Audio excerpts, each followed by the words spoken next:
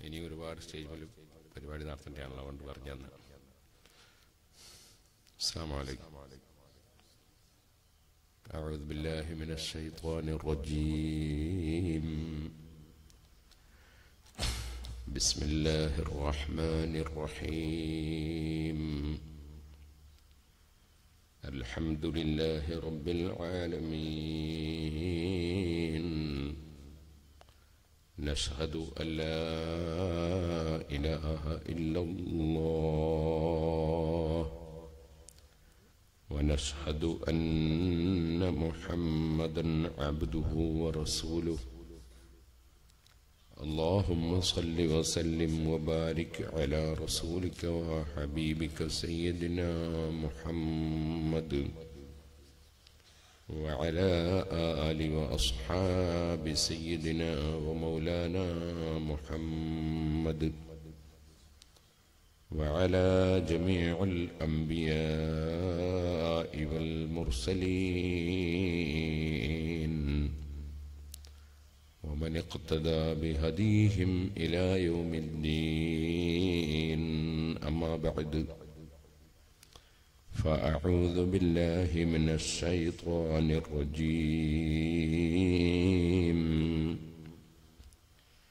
بسم الله الرحمن الرحيم.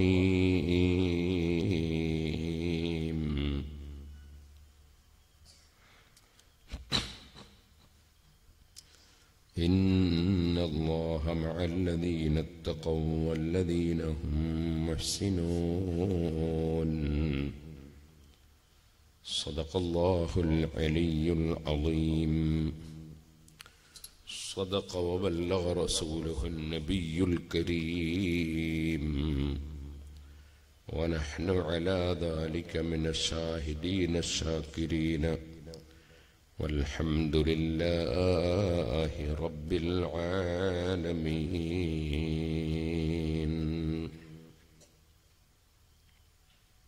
أحل أمته في هرز ملته. كالليث حل مع الأسبال في آجمين. يا ربي بالمصطفى بلغ مقاصدنا. واغفر لنا ما مضى يا واسع الكرم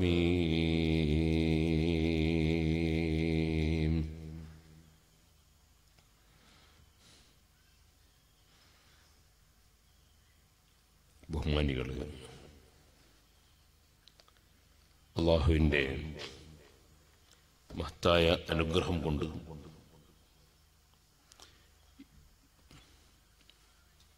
ചെറിയ പിഞ്ചുകുട്ടികൾക്ക് ഇൽമു പഠിപ്പിക്കുന്ന ഖുർആൻ പഠിപ്പിക്കുന്ന വിശ്വാസങ്ങളും കർമ്മങ്ങളും ആചാരങ്ങളും സ്വഭാവങ്ങളും പഠിപ്പിക്കുന്നതാണ് നമ്മുടെ ഹിദായത്തു സുബിയാൻ മദ്രസ. കുട്ടികൾക്ക് സന്മാർഗം എന്നാണ്. കുട്ടികളെ സന്മാർഗത്തിലേക്ക് നയിക്കുന്നത് എന്നാണ് ഹിദായത്തു സുബിയാൻ എന്ന വാക്കിന്റെ അർത്ഥം. അള്ളാഹു താല നമുക്കും നമ്മുടെ മക്കൾക്കും എല്ലാ ഹൈറും ഹിദായത്തിന്റെ വെളിച്ചവും വർദ്ധിപ്പിച്ചു തരുമാറാകട്ടെ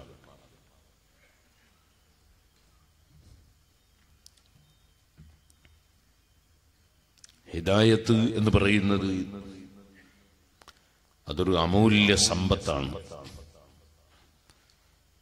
അള്ളാഹു സുബാനഹൂവത്തായ ഉദ്ദേശിച്ചവർക്ക് മാത്രം അള്ളാഹു നൽകുന്ന അമൂല്യ സമ്പത്താണ് ഹിദായത്ത്. അതുകൊണ്ടാണ് ഒരു മനുഷ്യൻ ഏറ്റവും ചുരുങ്ങിയത് മുഗ്മിനായ മനുഷ്യൻ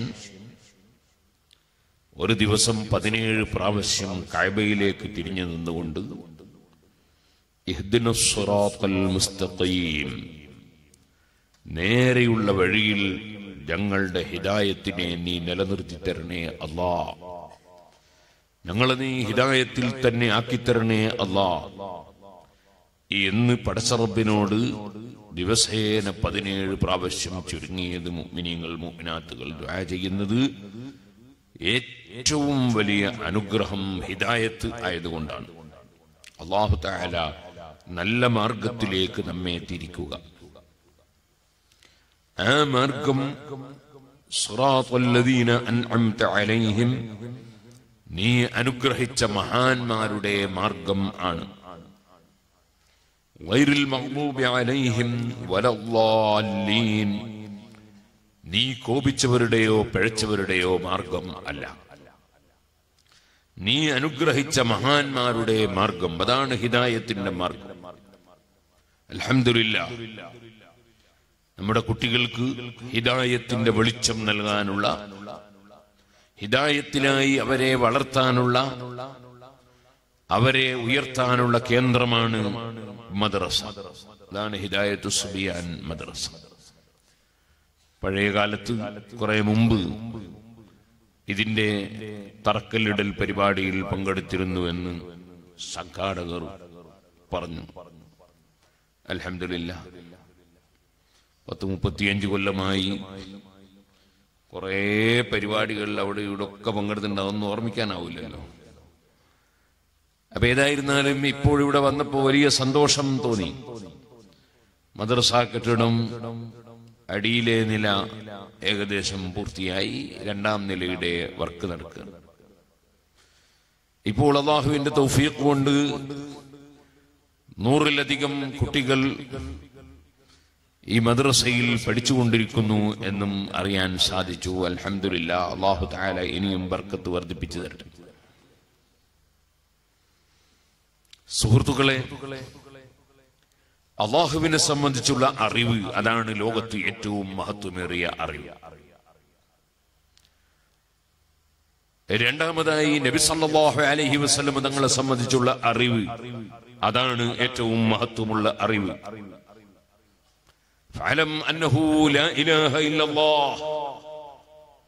അള്ളാഹു അല്ലാതെ ആരാധിക്കപ്പെടാൻ അർഹനില്ല എന്നത് നിങ്ങൾ ഉറപ്പിക്കണം നിങ്ങൾ അറിയണം.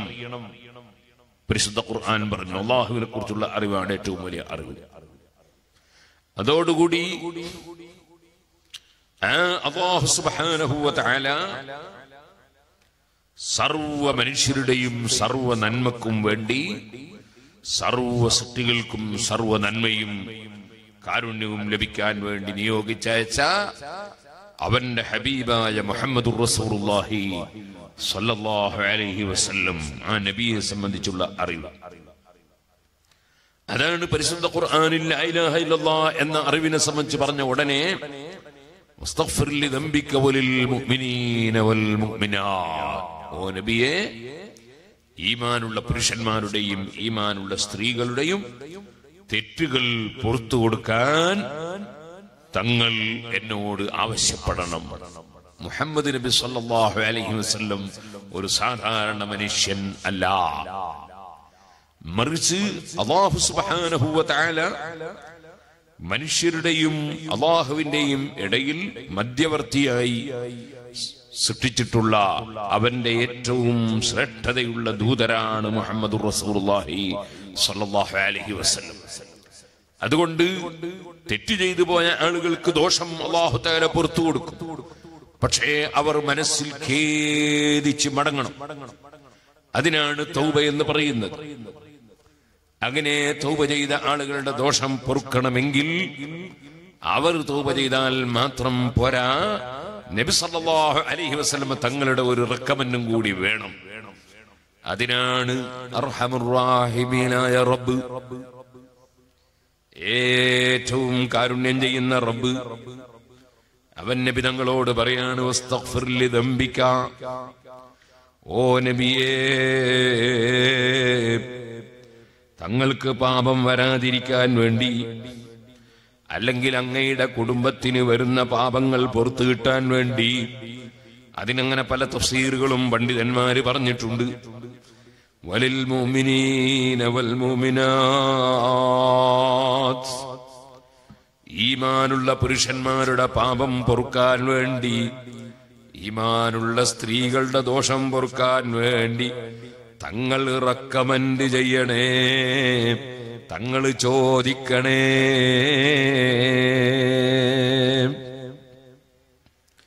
അഷ്റഫുൽ ഖൽഖു സല്ലല്ലാഹു അലൈഹി വസല്ലമ തങ്ങളുടെ ഒരു പേരാണ് മുഹമ്മദ്. അല്ലാഹുമ്മ സല്ലി വസല്ലം മുബാരിക് അലി. മറ്റൊരു പേരാണ് അഹമ്മദ്. വേറൊരു പേരാണ് അൽ ഹാഷിർ വേറൊരു പേരാണ് അൽ മുഖഫി വേറെ ഒരു പേരാണ് നബിയു തൗബ. മറ്റൊരു പേരാണ് നബിയു റഹ്മ. ആയിരക്കണക്കിന് പേരുണ്ട് നബി സല്ലല്ലാഹു അലൈഹി വസല്ലം തങ്ങൾക്ക്. ഇത് ഒറ്റ ഹദീസിൽ വന്ന അഞ്ച് പേരുകളാണ് അന മുഹമ്മദ് ഞാൻ മുഹമ്മദാണ് മുഹമ്മദ് എന്ന വാക്കിന്റെ അർത്ഥം തന്നെ ധാരാളം സ്തുതിക്കപ്പെടുന്ന ആൾ ധാരാളം പുകഴ്ത്തപ്പെടുന്ന ആൾ. അഹ്മദ് ഞാൻ അഹമ്മദാണ്. ധാരാളം സ്തുതിക്കുന്ന ആളാണ്. ഏറ്റവും സ്തുതിക്കുന്ന ആളാണ്. അള്ളാഹുവിനെ ഏറ്റവും കൂടുതൽ സ്തുതിക്കുന്നത് മുഹമ്മദ് റസൂർഹി വസ്ലം തങ്ങളാണ്.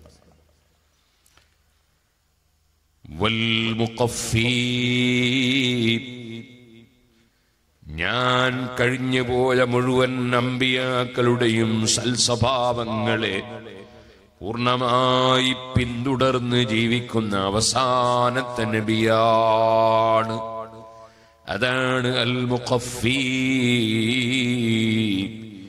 ഏത് നബിമാർ എന്ത് നല്ല സ്വഭാവം ഇവിടെ കാണിച്ചിട്ടുണ്ടോ? അതെല്ലാം സർവവും പകർത്തി അവരെ പിന്തുടർന്ന് ജീവിക്കുന്ന അവസാനത്തെ നബിയാണ് ഞാൻ. വൽമുഖഫി والحاشر. ലോകത്തുള്ള മുഴുവൻ ആളുകളെയും കയാമത്ത് നാളിൽ ഭൂമിയിൽ നിന്ന് എഴുന്നേൽപ്പിച്ചാൽ അവരൊക്കെ എഴുന്നേൽക്കുന്നതിന് മുമ്പ് ആദ്യമായി ഭൂമിയിൽ നിന്ന് എഴുന്നേറ്റ് വരുന്ന അവലുമൻുല്ലറും ഭൂമി ആദ്യമായി പൊട്ടിപ്പിളർന്ന് ഭൂമിയിലേക്ക് ഉപരിമണ്ഡലത്തിലേക്ക് ഭൂമിയിൽ നിന്ന് അതാ ഖിയാമന്നാളിൽ എഴുന്നേറ്റ് വരുന്ന നേതാവ് ഞാനാണ്. മറ്റുള്ളവരെ എല്ലാം ഞാൻ മുഖേന ഒരുമിച്ച് കൂട്ടുകയാണ്. അതുകൊണ്ട് എനിക്ക് അൽ ഹാഷിർ എന്ന ഒരു പേരുണ്ട്.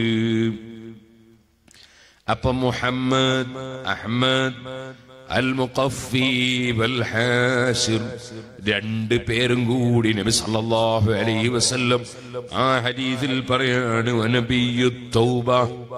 ഞാൻ തൗബയുടെ നബിയാണ്. നിങ്ങൾ ആര് അള്ളാഹുവിനോട് തൗബ ചെയ്യുന്നുണ്ടോ? ഖേദിച്ച് മടങ്ങുന്നുണ്ടോ? നിങ്ങളുടെ തൗബ സ്വീകരിക്കാൻ നിമിത്തമാകുന്ന നബിയാണ് ഞാൻ. ഞാൻ മുഖേന അള്ളാഹു തൗബ സ്വീകരിക്കുന്നു. അതുകൊണ്ടാണ് പരിശുദ്ധ ഖുർആനിൽ തന്നെ മറ്റൊരായത്തിൽ അള്ളാഹു പറഞ്ഞത്. വലഹു അന്നഹും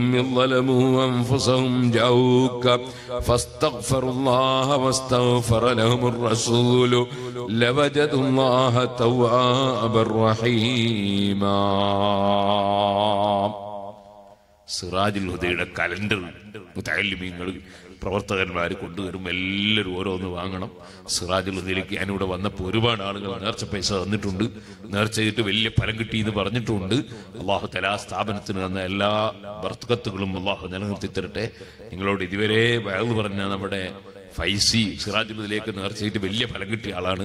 അങ്ങനെ ഈ സദസ്സിൽ ഒരുപാട് ആളുകളുണ്ട്. സിറാജുലുദിലേക്ക് നേർച്ച ചെയ്ത് വലിയ ഫലം കിട്ടിയ ഒരു കലണ്ടർ വാങ്ങുക ചുരുങ്ങിയത് ഇരുപത് റുപ്യെങ്കിലും കൊടുക്കുക എത്രയും കൊടുക്കാം. നിങ്ങൾക്ക് എല്ലാവരും ഓരോ കലണ്ടർ വാങ്ങണം എന്ന് ഓർമ്മപ്പെടുത്തുകയാണ്. ഞാൻ വിഷയത്തിലേക്ക് തന്നെ പോകും സല്ലല്ലാഹു അലൈഹി തങ്ങളുടെ പേരിനെ കുറിച്ച് ഹദീസിൽ ഇങ്ങനെ ഒരു പേര് വന്നപ്പോ ഇമാം മുസ്ലിം റിപ്പോർട്ട് ചെയ്യുന്ന ഹദീസ് അതിന്റെ വ്യാഖ്യാനത്തിൽ ഇമാമിങ്ങളൊക്കെ എഴുതി വെച്ചത് കാണാം. എന്തുകൊണ്ടാണ് നബി തങ്ങൾക്ക് നബിയു തൗബ എന്ന് പേര് വന്നത്? ഈ ഖുർആനിലെ ആയത്തവിടെ ഇമാമിങ്ങൾ എടുത്തുദ്ധരിച്ചത് കാണാം. വലൗ അന്നഹും അൻഫുസഹും തെറ്റ് ചെയ്തു പോയവർ നബിയെ സമീപിക്കട്ടെ. എന്നിട്ട് അവർ അള്ളാഹുവിനോട് പൊറുക്കലിനെ ചോദിക്കുകയും തങ്ങളോട് തെറ്റ് ചെയ്തു പോയ വിവരം പറഞ്ഞ് തങ്ങളവർക്ക് റെക്കമെൻഡ് ചെയ്യാൻ തങ്ങളോട് ആവശ്യപ്പെടുകയും എന്നിട്ട് തങ്ങളവർക്ക് വേണ്ടി റെക്കമെൻഡ് ചെയ്യുകയുമായാൽ അള്ളാഹു തൗബ സ്വീകരിച്ചു കൊള്ളുമെന്ന് ഖുർആൻ പറഞ്ഞിട്ടുണ്ട്. അതുകൊണ്ട് തന്നെ നബിതങ്ങളുടെ റെക്കമെൻഡോടുകൂടി തെറ്റുകാരുടെ തെറ്റുകൾ പൊറുക്കപ്പെടുന്നു. അതുകൊണ്ടാണ് നബിയു തൗബ തൗബയുടെ നബിയാണ് ഞാൻ. റഹ്മത്തിന്റെ നബിയാണ് ഞാൻ. എല്ലാ സൃഷ്ടികൾക്കും എല്ലാ വിധത്തിലും കാരുണ്യമാണ് ഞാൻ. എല്ലാവർക്കും കാരുണ്യമാണ് മുഹമ്മദ് റസൂലുള്ളാഹി സല്ലല്ലാഹു അലൈഹി വസല്ലം. സുഹൃത്തുക്കളെ ഞാനൊരു ചെറിയ സംഭവം പറയട്ടെ. മഹാനായ അബൂഹുറൈറ റളിയല്ലാഹു അൻഹു പറയുന്നു ഞങ്ങൾ പള്ളിയിൽ ഇരിക്കുന്ന സമയം നബി സല്ലല്ലാഹു അലൈഹി വസല്ലമ തങ്ങൾ എഴുന്നേറ്റപ്പോൾ ഞങ്ങളും എഴുന്നേറ്റു. നബി സല്ലല്ലാഹു അലൈഹി വസല്ലമ തങ്ങൾ നടക്കുകയാണ് പോവുകയാണ് ഞങ്ങളും പോവുകയാണ്. പള്ളിയുടെ മധ്യത്തിലെത്തിയപ്പോൾ ഒരാൾ നബി സല്ലല്ലാഹു അലൈഹി വസല്ലമ തങ്ങളുടെ പിന്നിൽ നിന്ന് വന്ന് നബി തങ്ങളുടെ കഴുത്തിലിട്ട വളരെ പരുപരുത്ത ഒരു പുതപ്പുണ്ട്. ആ പുതപ്പ് പിടിച്ച് നബി തങ്ങളുടെ ബേക്കിൽ നിന്നൊരൊറ്റ വലിയാണ്. കഴുത്തു തിരിഞ്ഞു പോകുന്ന നിലക്കുള്ള വലിയാണ്. അദ്ദേഹത്തിന്റെ ആ വലിയുടെ ശക്തിയാൽ നബി സല്ലല്ലാഹു അലൈഹി നിങ്ങളുടെ കഴുത്തിൽ ചുകന്ന അടയാളം വീണുപോയി. നബി സല്ലല്ലാഹു നിങ്ങൾക്ക് ചെറിയ പരിക്ക് സംഭവിച്ചു പോയി. അത്രയും പരിവരുത്ത പുതപ്പ് വളരെ ശക്തമായി ബേക്കൊന്ന് പിടിച്ചു വലിച്ചതാണ് എന്നിട്ട് അയാൾ എന്താ ചെയ്യുന്നത്? അയാൾ പറയാണ് നബി സല്ലല്ലാഹു അലൈഹി വസല്ലം തങ്ങളോട് നബിയെ ഓ മുഹമ്മദേ ഓ നബിയെ ഞാൻ ഇവിടെ രണ്ട് ഒട്ടകത്തെ കൊണ്ടുവന്ന് കെട്ടിയിട്ടുണ്ട്. ആ രണ്ട് ഒട്ടകത്തിന്റെ പുറത്തും എനിക്ക് ഭക്ഷണ സാധനം തരണം. ഇത് ഞാൻ ചോദിക്കുന്നത് നിങ്ങളെ സ്വത്തുമല്ല നിങ്ങളെ പിതാവിന്റെ സ്വത്തുമല്ല നബി സല്ലല്ലാഹു നിങ്ങളോട് അദ്ദേഹം പറഞ്ഞൊരു വാക്കാണ്. നിങ്ങളും അല്ല ചോദിച്ച നിങ്ങളെ വാപ്പാന്റെ അല്ല. ഞാൻ ചോദിച്ച സമുദായത്തിനുള്ള ഇത് ചോദിച്ചൊരു രൂപാണ് ഇത് കേട്ടാൽ നിങ്ങൾക്കാർക്കോ തോന്നുന്നുണ്ടോ? ഇയാൾ നേരത്തെ രണ്ട് ലോഡ് മൂപ്പർക്ക് കൊടുക്കാൻ വേണ്ടി പൈസയൊക്കെ മണി ഓർഡർ അയച്ചിട്ട് അല്ലെങ്കിൽ ചെക്ക് ബാങ്കിൽ അക്കൗണ്ടിൽ ഇട്ടിട്ട് വന്നതാണ്. അഞ്ചു കൊടുത്തിട്ടല്ല അയാൾക്ക് സംഭാവന കൊടുക്കാനായി പറയുന്നത്. അദ്ദേഹത്തിന് രണ്ട് ലോഡ് ഭക്ഷണ സാധനം സംഭാവന കൊടുക്കാനാ പറയുന്നു അതിന് ചോദിച്ച ഒരു രൂപാണിത്. നിങ്ങളൊന്ന് ആലോചിച്ചു നോക്ക്. നമ്മൾ ആരെങ്കിലും നിങ്ങളോട് അല്ലെങ്കിൽ നിങ്ങൾ ആരെങ്കിലും മറ്റൊരാളോട് ഒരു സംഭാവന ചോദിക്കുമ്പോ ഇതേപോലെ ചോദിച്ചാൽ എന്ത് സംഭാവനയാ കിട്ടുക? കണ്ണടക്കി തല്ലിട്ടൂലേ? അലൈഹി വസല്ലമ തങ്ങളുടെ കാരുണ്യമാണ് നമ്മൾ കാണേണ്ടത്. നബി സല്ലല്ലാഹു അലൈഹി വസല്ലമ തങ്ങളോട് ഇങ്ങനെ പറഞ്ഞപ്പോ നബി തങ്ങളെ മറുപടി എന്താണ്? ചീത്ത പറഞ്ഞില്ല തെറി പറഞ്ഞില്ല ശകാരിച്ചില്ല അടിച്ചില്ല അടിക്കാൻ അനുയായികളെ അനുവദിച്ചില്ല. ഇത്ര വലിയ അക്രമം ചെയ്തുകൊണ്ട് അതാ സംഭാവന ചോദിച്ച മനുഷ്യന്റെ മുന്നിൽ നിന്ന് നബിതങ്ങൾ പറയണില്ല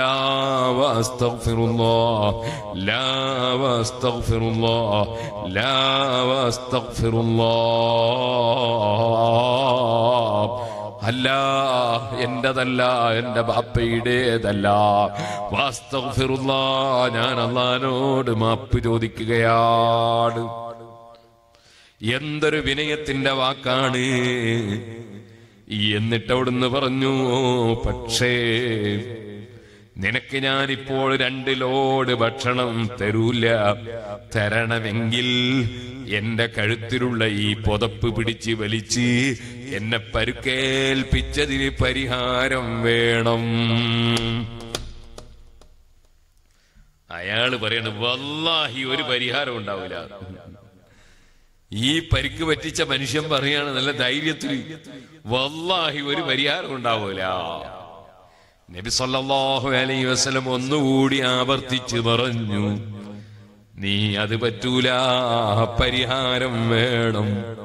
അദ്ദേഹം വീണ്ടും പറയാണ് വല്ലാഹി ഒരു പരിഹാരം ഉണ്ടാവൂല. മൂന്നാമതും നബി സല്ലാഹു അലൈ വസല്ലം ആവശ്യപ്പെട്ടു. അപ്പോഴും അയാളുടെ മറുപടി വല്ലാഹി ഒരു പരിഹാരം ഉണ്ടാവില്ല സഹാബികൾക്ക് ദേഷ്യം പിടിച്ചു. ദേഷ്യം പിടിക്കാതിരിക്കുവോ? സുബഹാനല്ലാഹി ഇതാരാണ്? അള്ളാഹുവിന്റെ ഹബീബായ റഹ്മത്തുല്ലിൽ ആലമീൻ മുഹമ്മദുർ റസൂലുള്ളാഹി സല്ലല്ലാഹു അലൈഹി വസല്ലം തങ്ങളല്ലേ? ആ തങ്ങൾ ഒതുവെടുത്ത വെള്ളം പോലും നിലത്തി വീഴാൻ അനുവദിക്കാതെ കയ്യിൽ ഏറ്റുവാങ്ങി ശരീരത്തിൽ പുരട്ടുന്ന സഹാബികളല്ലേ? അവിടുത്തെ ഉമിനീര് പോലും നിലത്തി വീഴാൻ അനുവദിക്കാതെ കയ്യിൽ ഏറ്റുവാങ്ങി ശരീരത്തിൽ പുരട്ടുന്ന സഹാബികളല്ലേ? അവർക്കറിയാമല്ലോ ഈ ഉമിനീര് സാധാരണ ഉമിനീരല്ല. ഇതിന് അതാ കസ്തൂരിയേക്കാൾ നല്ല സുഗന്ധമാണ്. അത് ഔഷധമാണ് രോഗശമനമാണ്. ആ ഉമിനീര് തൊട്ട് പുരട്ടിയപ്പോൾ അലിറതിയോലിന്റെ ചെങ്കണ്ണ് രോഗം മാറുകയാണ്. ആ ഉമിനീര് ചേർത്തപ്പോൾ പത്താളുകൾക്ക് തിന്നാനില്ലാത്ത ഭക്ഷണം നൂറുകണക്കിന് ആളുകൾ കഴിച്ചിട്ടും ബാക്കിയാണ്.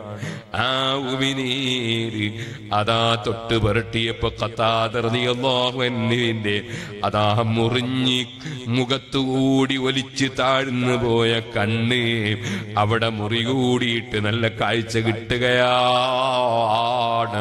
അതൊരു സാധാരണ ഉമിനീരല്ലല്ലോ. ഓ. സുഹൃത്തുക്കളെ ഈ ഈച്ചയുടെ വായിൽ നിന്ന് വരുന്നതാണല്ലോ തേന്. അത് എല്ലാ ഈച്ചയും ഒരുപോലെയല്ല തേനീച്ചയുടെ വായിൽ നിന്നാണ്. അല്ലാഹ തേനീച്ചയുടെ വയറ്റിൽ നിന്ന് വരുന്നതാണ് വായിലൂടെ. ആ തേന് നക്കാത്ത യുക്തിവാദിയുണ്ടോ? നിരീശ്വരവാദിയുണ്ടോ? മുജാഹിദുണ്ടോ? ജമാഅത്തുകാരനുണ്ടോ? ഈ ഈച്ചയുടെ വായിൽ നിന്ന് വരുന്ന തേന് നക്കുന്നവൻ ഞങ്ങൾക്ക് ലോകമൊട്ടാകെ സൃഷ്ടിക്കപ്പെടാൻ കാരണക്കാരനായ നബി സല്ലല്ലാഹു അലൈഹി വസല്ലം നിങ്ങളെ ഉമിനീര് സഹാബത്ത് ബറക്കത്തിന് ഉപയോഗിച്ചു എന്ന് പറയുമ്പോ സഹാബത്തിന് വിവരമില്ലാത്തവരായി ചിത്രീകരിക്കണ്ട.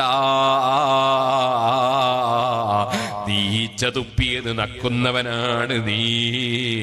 ഇത് ലോകം മുഴുക്കെ സൃഷ്ടിക്കപ്പെടാൻ കാരണക്കാരനായ ഹബീബ് മുഹമ്മദ്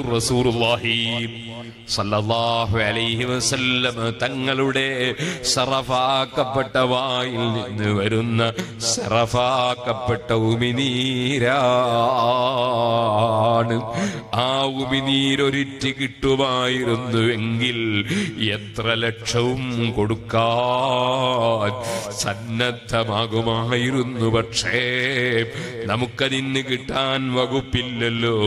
അള്ളാഹുവേ ഞങ്ങൾക്ക് നിന്റെ ദീന് പഠിപ്പിക്കുന്ന നിന്റെ ഹബീബായ നബിതങ്ങളെ കുറിച്ച് പഠിപ്പിക്കുന്ന നിന്നെ കുറിച്ച് പഠിപ്പിക്കുന്ന മദ്രസക്ക് വേണ്ടി വാത് സംഘടിപ്പിച്ച് ഒരുമിച്ച് കൂടിയ ഞങ്ങൾക്ക് അവിടുത്തെ കയ്യിൽ നിന്ന് ഹൗദുൽ കൗസർ തരണേ അല്ലാ.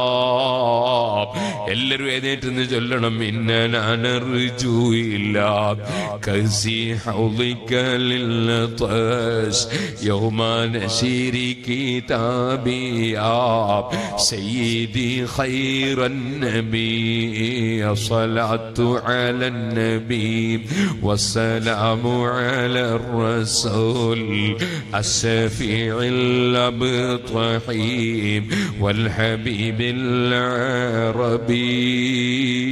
റബീബ് ഇരുന്നോളൂ സുഹൃത്തുക്കളെ മഹാനായ മുഹമ്മദുർ റസൂലുള്ളാഹി സല്ലല്ലാഹു അലൈഹി വസല്ലമ തങ്ങൾ അവിടുത്തെ വായിലോപിനീര് പോലും പുറത്ത് പോകാൻ അനുവദിക്കാതെ അതാ കയ്യിലേറ്റുവാങ്ങി ശരീരത്തിൽ പുരട്ടുന്ന സഹാബ. ആ സഹാബത്ത് അതാ അവിടുത്തെ കുപ്പായം കഴുകിയ വെള്ളം അവിടുത്തെ മുടിയിട്ട വെള്ളം അങ്ങനെ തുടങ്ങിയിട്ട് ഉമ്മു സുലൈം ബീവി റളിയല്ലാഹു അൻഹാ. നബിതങ്ങളെ വിയർപ്പുറ്റി വീഴുമ്പോൾ കുപ്പിയിലാക്കി ശേഖരിച്ചു കൊണ്ടുപോയി ബറക്കത്തെടുക്കുന്നു. നബിതങ്ങളത് കാണുന്നു അംഗീകാരം കൊടുക്കുന്നു. അങ്ങനെ സഹാബത്ത് സ്നേഹിക്കുകയാണ്. ആ സഹാബത്തിന്റെ മുന്നിൽ വെച്ചാണ് ഇദ്ദേഹം നബി സല്ലല്ലാഹു അലൈഹി വസല്ലമ തങ്ങളുടെ കഴുത്തിലിട്ട പരിപരുത്ത പുതപ്പ് വലിച്ചിട്ട് നബിതങ്ങളുടെ ശരീരത്തിന് പരുക്കേൽപ്പിച്ചത്. എന്നിട്ട് അദ്ദേഹം പറയുന്നത് രണ്ട് ലോഡ് ഭക്ഷണം കൊടുക്കണമെന്ന് സംഭാവന ചോദിക്കുകയാണ്. നബിതങ്ങൾ ഈ പരിക്ക് പറ്റിച്ചതിന് പരിഹാരം വേണമെന്ന് പറയുമ്പോ അദ്ദേഹം സത്യം ചെയ്ത് പറയുന്നതിന് പരിഹാരം ഉണ്ടാവില്ല മൂന്ന് പ്രാവശ്യം അങ്ങനെ പറഞ്ഞു. അപ്പൊ സഹാബികൾക്ക് ദേഷ്യം പിടിച്ചു. സഹാബികൾ എല്ലാവരും അയാളെ കൊള്ളിങ്ങിട്ട് എഴുന്നേറ്റു. എല്ലാവരും കൂടി എഴുന്നേറ്റപ്പോ നബി വസല്ലം പറഞ്ഞു ഇതാ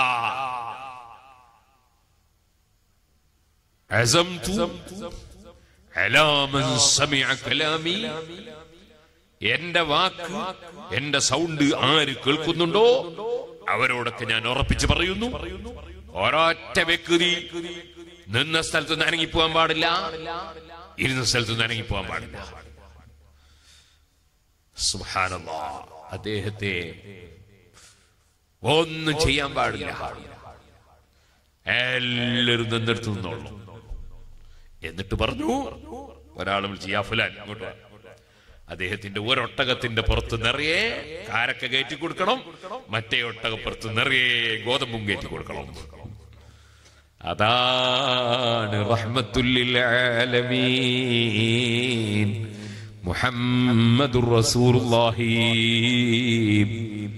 അതാണ് സുഹൃത്തുക്കളെ ഞാൻ തൗബയുടെ നബിയാണ് ഞാൻ റഹ്മത്തിന്റെ നബിയാണ്.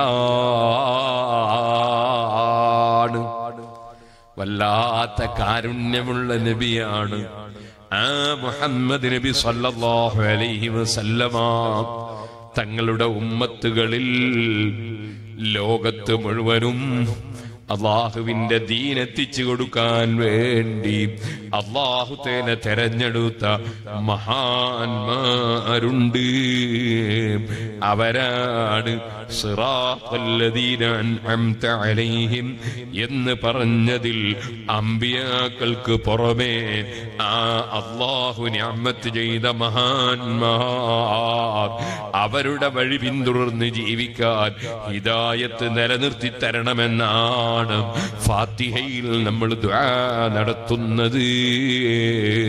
അങ്ങനെയുള്ള ധാരാളം മഹാന്മാരും മഹതികളും ലോകത്ത് കഴിഞ്ഞു പോയി.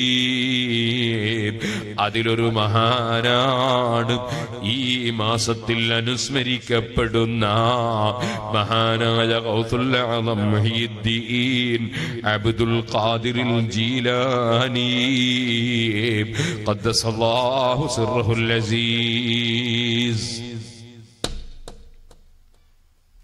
തആല വലിയ സ്ഥാനം കൊടുക്കാൻ ഉദ്ദേശിച്ചു. കുട്ടിക്കാലത്ത്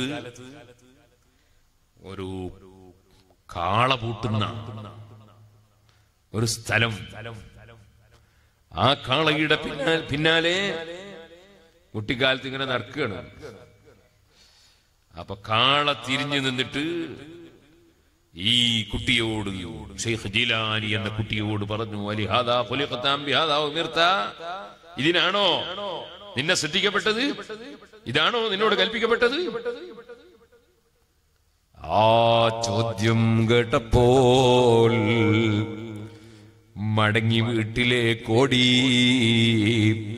വീട്ടിന്റെ മേൽഭാഗത്ത് കയറിയിട്ട് ഒന്ന് കണ്ണോടിച്ചപ്പോൾ അറഫയിൽ ആളുകൾ ഒരുമിച്ച് കൂടിയ കാഴ്ചയാ കാണുന്നത്. അവിടെ ഇറങ്ങിയിട്ട് ഉമ്മയോട് പറഞ്ഞ വാക്കാണ് എനിക്ക് ഇൽമു പഠിക്കാൻ പോകണം ഉമ്മ. സമ്മതം തരണേ. വലിയ വലിയ മഹാന്മാർ അവരുന്നതമായ പദവിയിലേക്ക് കയറിപ്പോകുന്നത് ഇൽമ് പഠിച്ചുകൊണ്ടാണ്.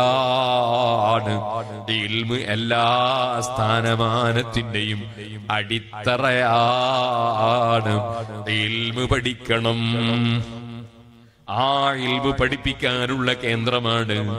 അടിസ്ഥാനപരമായ ഇൽബ് പഠിപ്പിക്കാനുള്ള കേന്ദ്രമാണ് നമ്മുടെ മദ്രസകൾ എന്ന് പറയുന്നത്. അലഹമില്ല സുന്നി വിദ്യാഭ്യാസ ബോർഡിന്റെ മദ്രസകൾ.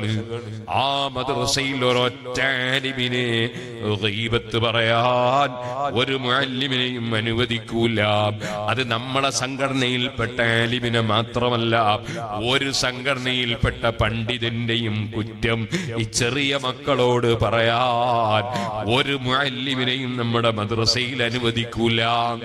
നമ്മളെ മദ്രസകളിൽ പൂർണമായി ഇൽമ പഠിപ്പിക്കലാണ് ഖുർആൻ പഠിപ്പിക്കലാണ് അതുപോലെ അലിമീങ്ങളെ മഹത്വം പഠിപ്പിക്കലാണ് ഉമ്മ ബാപ്പയുടെ മഹത്വം പഠിപ്പിക്കലാണ് പ്രായമുള്ളവരെ ബഹുമാനിക്കണമെന്ന് പഠിപ്പിക്കലാണ്. അതുപോലെ വർഗീയത പാടില്ല തീവ്രവാദം പാടില്ല ഭീകരവാദം പാടില്ല അക്രമങ്ങൾ പാടില്ല. ആരെയും ഇൻസൾട്ട് ആക്കാൻ പാടില്ല. ആരെയും ദൈവത്ത് പറയാൻ പാടില്ല. ആരെയും ഭീഷണിപ്പെടുത്താൻ പാടില്ല. ആരെയും ഏഷണി പറയാൻ പാടില്ല. ആരെയും കുറ്റം കെടുത്താൻ പാടില്ല. ഓ മക്കളെ നിങ്ങൾ കളവ് പറയാൻ പാടില്ല. വാക്ക് ലംഘിക്കാൻ പാടില്ല. നിങ്ങൾ കുടുംബബന്ധം ചേർക്കണേ. നിങ്ങൾ അയൽവാസികൾക്ക് നന്മ ചെയ്യണേ. അവിടെയൊന്നും പാർട്ടി നോക്കാൻ പാടില്ല. അവിടെയൊന്നും അതാ സംഘടന നോക്കാൻ പാടില്ല. അയൽവാസികൾക്ക് നന്മ ചെയ്യണം. മുസ്ലിം ആയാലും മുസ്ലിം അല്ലെങ്കിലും നന്മ ചെയ്യണം. എല്ലാവർക്കും ഗുണം ചെയ്യണം. കുടുംബ ബന്ധം ചേർക്കണം. ആ കുടുംബം മുസ്ലിം ആണെങ്കിലും അല്ലെങ്കിലും കുടുംബം കുടുംബം തന്നെ.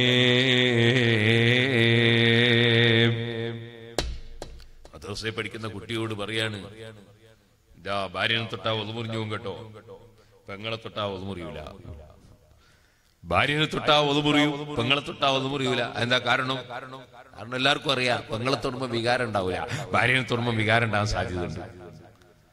വികാര സാധ്യതയുള്ളത് കൊണ്ടാണ് ഒതുമുറിയുന്നത് ഷാഫി മാമൻ പറയാം. അതുകൊണ്ട് ഉമ്മാനെ തൊട്ടാ ഒതുമുറിയില്ല ചെറിയ കുഞ്ഞുങ്ങളെ തൊട്ട് പെണ്ണായാലും ആണായാലും ഒതുമുറിയൂല കാരണം വികാര സാധ്യതയില്ല വികാര സാധ്യതയുള്ളത് കൊണ്ടാണ് വികാര സാധ്യതയുള്ള പ്രായമെത്തിയ അന്യാണും അന്യ പെണ്ണും തൊട്ടാ ഒതുമുറിയും ഭാര്യ തൊടുമ്പോൾ എന്തായാലും ഒതുമുറിയും കാരണം വികാര സാധ്യത കൂടുതലാണ് ഭാര്യ ചിലർ ചോദിക്കും ഭാര്യന്റെ ഉമ്മാനെ തൊട്ടാ ഒതുമുറിയലല്ലോ ഭാര്യന്റെ ഉമ്മാനെ തൊടുമ്പോൾ വികാര സാധ്യതയില്ല അങ്ങനെ വികാര സാധ്യത ഉണ്ടെങ്കിൽ അവനെയും ബൈക്ക് വരുത്താനും പാടില്ല.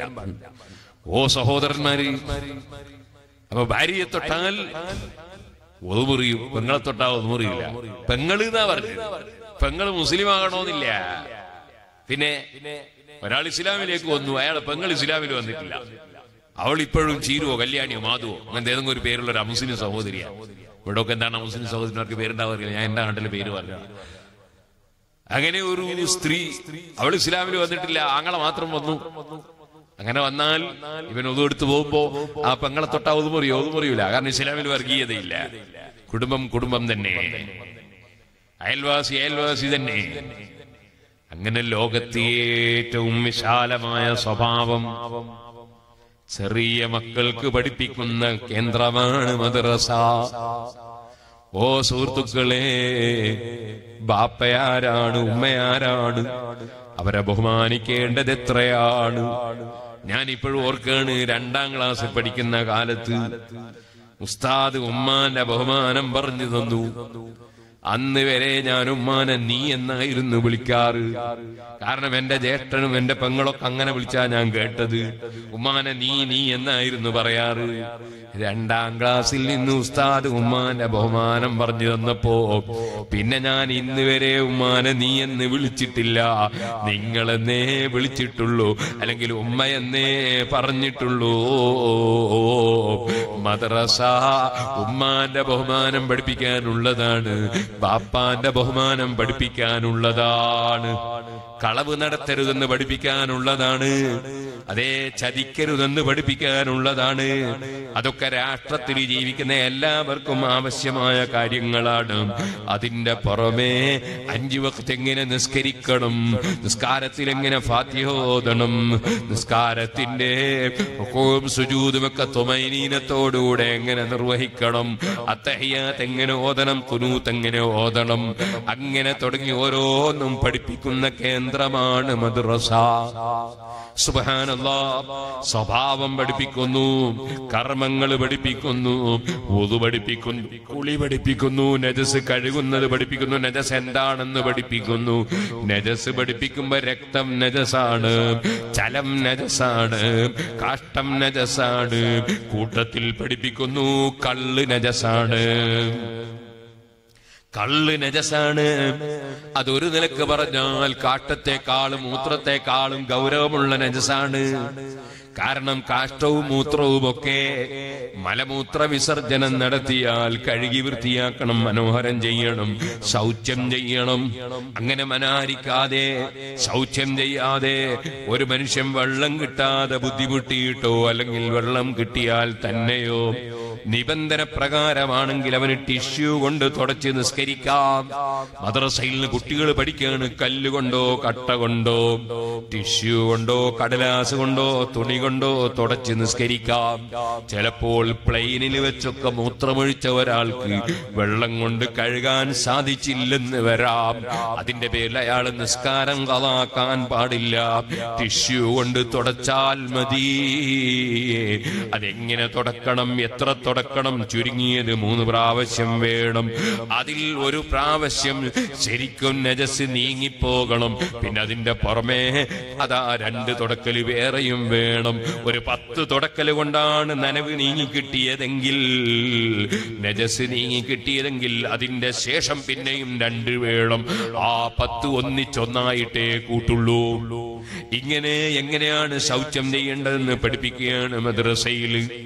ആ പഠിപ്പിക്കുന്ന കുട്ടിക്ക് തന്നെ പഠിപ്പിക്കുകയാണ്. അങ്ങനെ തുടച്ചാൽ നിസ്കരിക്കാൻ പറ്റുമല്ലോ വിസർജിച്ചാൽ കാട്ടത്തിനും മൂത്രത്തിനും ചെറിയ വിട്ടുവീഴ്ചയുണ്ടെന്നർത്ഥം. എന്നാൽ ഒരുറ്റ് കള്ളോ ചാരായമോ ബ്രാണ്ടിയോ വിസ്കിയോ അങ്ങനെയുള്ള ലഹരി പാനീയങ്ങളോ ഒരു മുസ്ലിമിന്റെ ഡ്രസ്സിലോ ശരീരത്തിലോ ഉറ്റിപ്പോയാൽ ആയിരം പ്രാവശ്യം ടിഷ്യൂ കൊണ്ട് തുടച്ചാലും നിസ്കരിക്കാൻ പറ്റില്ല. അത് വെള്ളം കൊണ്ട് കഴുകിയിട്ട് മണവും രുചിയും നീങ്ങണം. അതിന്റെ പുറമേ മണം നീങ്ങണം. അതിന്റെ പുറമേ നിറം നീങ്ങണം. അതിന്റെ രുചി നീങ്ങണം. അത് മൂന്നും നീങ്ങിയാലേ നിസ്കാരം പറ്റൂ. കാരണം അത്ര ഗൗരവമുള്ള നജസാണ് കള്ളി. ഓ മുസ്ലിമീങ്ങളെ ചെറുപ്പക്കാരെ നിങ്ങളാരും നജസ് കുടിച്ചു പോകരുതേ. നമ്മൾ നേരത്തെ ചൊല്ലിയില്ലേ? ഹബീബായ നബിതങ്ങളെ കയ്യിൽ നിന്ന് ഹൗദുൽ കൗസർ വാങ്ങി കുടിക്കണമെന്ന ആഗ്രഹം കൊണ്ട് ആ ഹൗദുൽ കൗസർ കുടിക്കേണ്ട നാം ഇവിടെ വെച്ച് നജസ് കുടിച്ച് നമ്മുടെ വയറ് ചീത്തയാക്കരുതേ. നീ ഇവിടെ വെച്ച് നജസ് കുടിച്ചാൽ ഇവിടെ വെച്ച് കള്ള് കുടിച്ചാൽ ലഹരി കുടിച്ചാൽ നിനക്ക് നരകത്തിലും നജസ് കുടിപ്പിക്കും. പക്ഷെ അവിടെ കുടിപ്പിക്കുന്ന നജസ് ഏതാണെന്നറിയോ? അത് അബൂജഹലിന്റെ ചലമാണ്. അബൂജഹലിന്റെ ശരീരത്തിൽ നിന്ന് നരകാഗ്നി കൊണ്ട് ശരീരം പഴുത്തിട്ട് ഒലിക്കുന്ന നീരും ചലവുമാണെന്ന് മുഹമ്മദ് റസൂലുള്ളാഹി. അല്ലാഹുവേ ഞങ്ങളുടെ മുസ്ലിം ചെറുപ്പക്കാരിൽ അല്ലെങ്കിൽ മുസ്ലിമീങ്ങളിൽ ആരെങ്കിലും മദ്യപിച്ചു പോയവരുണ്ടെങ്കിൽ അവർക്ക് തൗബയുടെ മനസ്സ് കൊടുക്കണേ അള്ളാ അവരാരെയും അബൂജഹലിന്റെ ചലം കുടിപ്പിക്കല്ലേ അള്ളാ ബക്കറ്റ് കൊണ്ടുവരുമ്പോൾ എല്ലാവരും നല്ല സംഭാവന കൊടുക്കണം. സുഹൃത്തുക്കളെ ഇടക്കൊന്നും കൂടി പറയാണ് സംഭാവന ബക്കറ്റിൽ ഇട്ട് കൊടുത്താൽ മാത്രം പോരാ. നമ്മൾ ഈ മദ്രസന്റെ മേലെ നിങ്ങളൊന്ന് നോക്ക്. മദ്രസന്റെ മേലെ നോക്കുമ്പോ എങ്ങനെയുണ്ട്? സുബാനല്ലാ ഉപ്പായ ഇട്ടിട്ടില്ല തലേക്കെട്ടും കെട്ടിയിട്ടില്ല. വെറും ഒരു തോർത്ത് കൊടുത്തിട്ടാണുള്ളത് അടിയിലെ നില മാത്രം പണി കഴിഞ്ഞിട്ട് മേലെ ഒന്നും പണി കഴിഞ്ഞില്ല. അവിടെ മേലെ നിലയുടെ പണി കഴിക്കണം കഴിഞ്ഞ പണീന്റെ കടവും വീട്ടണം. അതിന് ഒരു മൂന്ന് നാല് ലക്ഷം ഉറുപ്പിക കിട്ടണം എന്ന് സംഘാടകർ എന്നോട് പറഞ്ഞു. ഞാൻ ഈ സംഭാവന അത് അറിയുന്ന ആളല്ല. പക്ഷേ അതിന് നിങ്ങളെല്ലാവരും സംഖ്യ തരണം ഫർണിച്ചറും വേണമെന്ന് അതിനും വേണം സംഖ്യ. അൻപത് സെറ്റ് ഫർണിച്ചർ വേണം അല്ലേ? അൻപത് സെറ്റ് ഒന്നിന് മൂവായിരത്തി അഞ്ഞൂറ്. അപ്പൊ അതിനെന്ത് വെച്ചാൽ ഒരാൾ ഒരു പത്ത് സെറ്റ് ഒരാൾ ഒരു അഞ്ച് സെറ്റ് ഒരാൾ ഒരു രണ്ട് ഒരാൾ ഒരു ഒന്ന് അങ്ങനെ എല്ലാവരും കൊടുത്താൽ ആ കുട്ടികൾക്ക് ഇങ്ങനെ അതിന്റെ മുകളിൽ ഇരുന്നിട്ട് കുറുകാനോതും കുറെ നമ്മൾ മരിച്ചാലുണ്ടാവും കുട്ടികൾക്ക് ഇങ്ങനെ കുറുകാനോതും അപ്പൊ വലിയ പ്രതിഫലം അള്ളാഹു തലത്തിൽ അതിനുവേണ്ടി എല്ലാവരും നല്ല സംഭാവന വാഗ്ദത്വം ചെയ്യണം. നിങ്ങൾ ബക്കറ്റ് മാത്രം പോരാ. സംഘാടകർ ഒന്ന് രണ്ടാൾ ഇങ്ങനെ ഒരു കടലാസ് എടുത്ത് ഇങ്ങനെ നടക്കണം. അപ്പോൾ നമ്മളെ സമയം പോയി പോവാതെ അവരെല്ലാം പറയും ഇതാ എന്റെ വകയിൽ ഒരു സെറ്റ് മൂവായിരത്തി അഞ്ഞൂറ് വേറെ ആൾ രണ്ടായി ഒരു ഏഴായിരം രണ്ട് വേറെ ഒരു മൂന്ന് സെറ്റ് പത്തായിരത്തി അഞ്ഞൂറ് അങ്ങനെ പറയും അതിന് സംഘാടകർ ഒന്ന് രണ്ടാൾ ഇങ്ങനെ സാസ് കൂടി നടക്കണം. ഞാനിപ്പോ ഇവിടുന്ന് ഇങ്ങനെ ആരാ തരിക എന്ന് ചോദിച്ചു ഒരാൾ എണീറ്റ് എന്ന് പറഞ്ഞ് അയാൾക്ക് വേണ്ടിയിട്ട് അരമണിക്കൂർ കയറുന്നു അള്ളാഹിനോട് ദ്വാരക്കാൻ അരമണിക്കൂറൊന്നും വേണ്ട. അള്ളാഹു തലെല്ലാം അറിയൂലേ. ദ്വാരുന്നില്ലെങ്കിലും അള്ളാഹുത്തല തല തരൂല. അതുകൊണ്ട് ദ്വാരക്കണ്ടെന്നും ഞാൻ പറഞ്ഞതിന് അർത്ഥമല്ല. നമ്മളെ സമയം അതിനു വേണ്ടി പോയാൽ നമുക്ക് വയത് പറഞ്ഞു ഞാൻ ഈ ആദർശീനി എന്റെ അടുത്താണ്. നമ്മളെ പൈസന്റെ നാട്. ഇവിടുന്ന് എത്ര ഉണ്ട്? ഇരുപതിലായിട്ട് ഞാൻ അവിടെ വന്നപ്പോ അന്ന് തീരെ സൗണ്ട് ഇല്ല. സൗണ്ട് ഉണ്ടായില്ല. അപ്പോൾ പൈസ ഇവിടെ കയറി വന്ന ഉടനെ തന്നെ ചോദിച്ചു സൗണ്ട് റെഡി ആവുമെന്ന് ചോദിച്ചു. സൗണ്ട് രണ്ട് ദിവസം കൊണ്ട് തന്നെ റെഡി ആയിരുന്നു അഹമ്മദില്ല അതിന്റെ ആയെന്ന് പറഞ്ഞു അപ്പൊ അതുകൊണ്ട് ഇവിടെയും കൂടുതൽ നിന്നുകൂടാത്തൊരു പ്രശ്നമുണ്ട്. കാരണം മഞ്ഞ് തീർത്തും കൊണ്ടാ നാളെ ചിലപ്പോൾ സൗണ്ട് ഉണ്ടാവില്ല. മഞ്ഞ് കാലത്ത് ചെറിയൊരു ആദായം കിട്ടും മുകളിലൊന്നും ഇല്ലാതിരുന്നാൽ. പക്ഷെ എനിക്ക് തീരെ തണുപ്പും പൊടിയും പറ്റാത്ത ആളാണ് അവിടെയാണ് കയറി വന്നുകൊണ്ട് തന്നെ ഫാൻ ഓഫ് ആക്കി. എവിടെ ചെന്നാലും ഞാൻ ഏത് സ്ഥലത്ത് ചെന്നാലും നിസ്കരിക്കുമ്പോൾ ആദ്യം ഫാൻ ഓഫാക്കും എന്നിട്ട് നിസ്കരിക്കാൻ നിൽക്കുക. ഇന്നൊരു സ്ഥലത്ത് നിന്ന് ഫാൻ ഓഫാക്കിയിട്ട് നിസ്കരിക്കാന്ന് കുറച്ചു നേരം വന്നപ്പോൾ കഴിഞ്ഞപ്പോൾ ആരോ ഒരാൾ ബഹുമാനിച്ചിട്ട് ഫാൻ ഇട്ട് തന്നു. നിസ്കാരത്തിൽ പിന്നെ എന്തോ ചെയ്യാൻ പറ്റുമോ? അപ്പോ ഞാൻ പറഞ്ഞു വന്നുകൊണ്ട് കൂടുതൽ ഇവിടെ നിന്നാൽ നാളെ മംഗലാപുരത്ത് നിന്ന് പത്തൈമ്പത് കിലോമീറ്റർ അപ്പുറം മർക്കസു സഖാഫത്ത് സുന്നിയുടെ പ്രചരണ പരിപാടിയാണ്. അതിന് യാത്രയും ചെയ്യണം. അത് ഉറക്കുവയ്ക്കാൻ പറ്റൂല. പത്ത് മണിക്ക് കിടന്ന് ഉറങ്ങണമെന്ന് ഡോക്ടർ പറഞ്ഞിട്ടുണ്ട്. അതുകൊണ്ട് നീട്ടി സംസാരിക്കുന്നില്ല. സമയം പോയി പോണ്ട നമ്മുടെ സംഘാടകർ ഇങ്ങനെ നടക്കണം. നല്ല നീയത്തോടെ കൊടുക്കണം.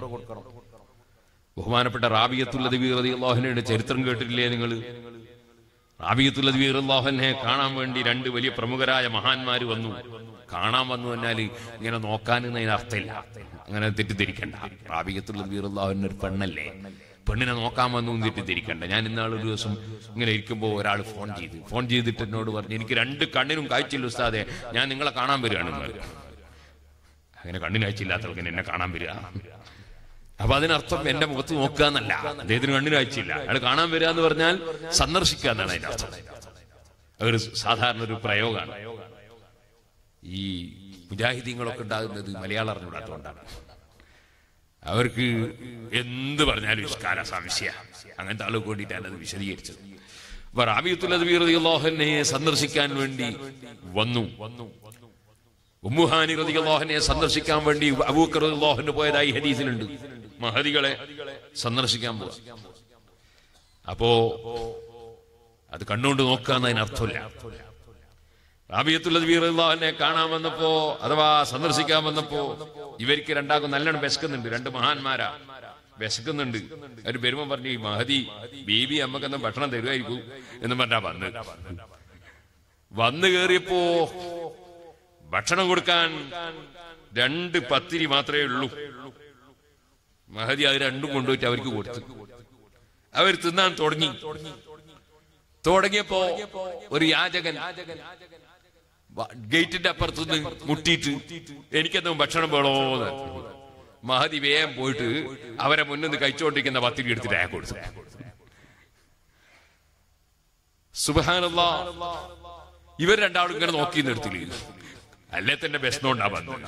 രണ്ട് പത്തിരിയെ കിട്ടിയിട്ടുള്ളൂ അത് തിന്നോണ്ടിരിക്കുമ്പോ എടുത്ത് ആ പാവപ്പെട്ട.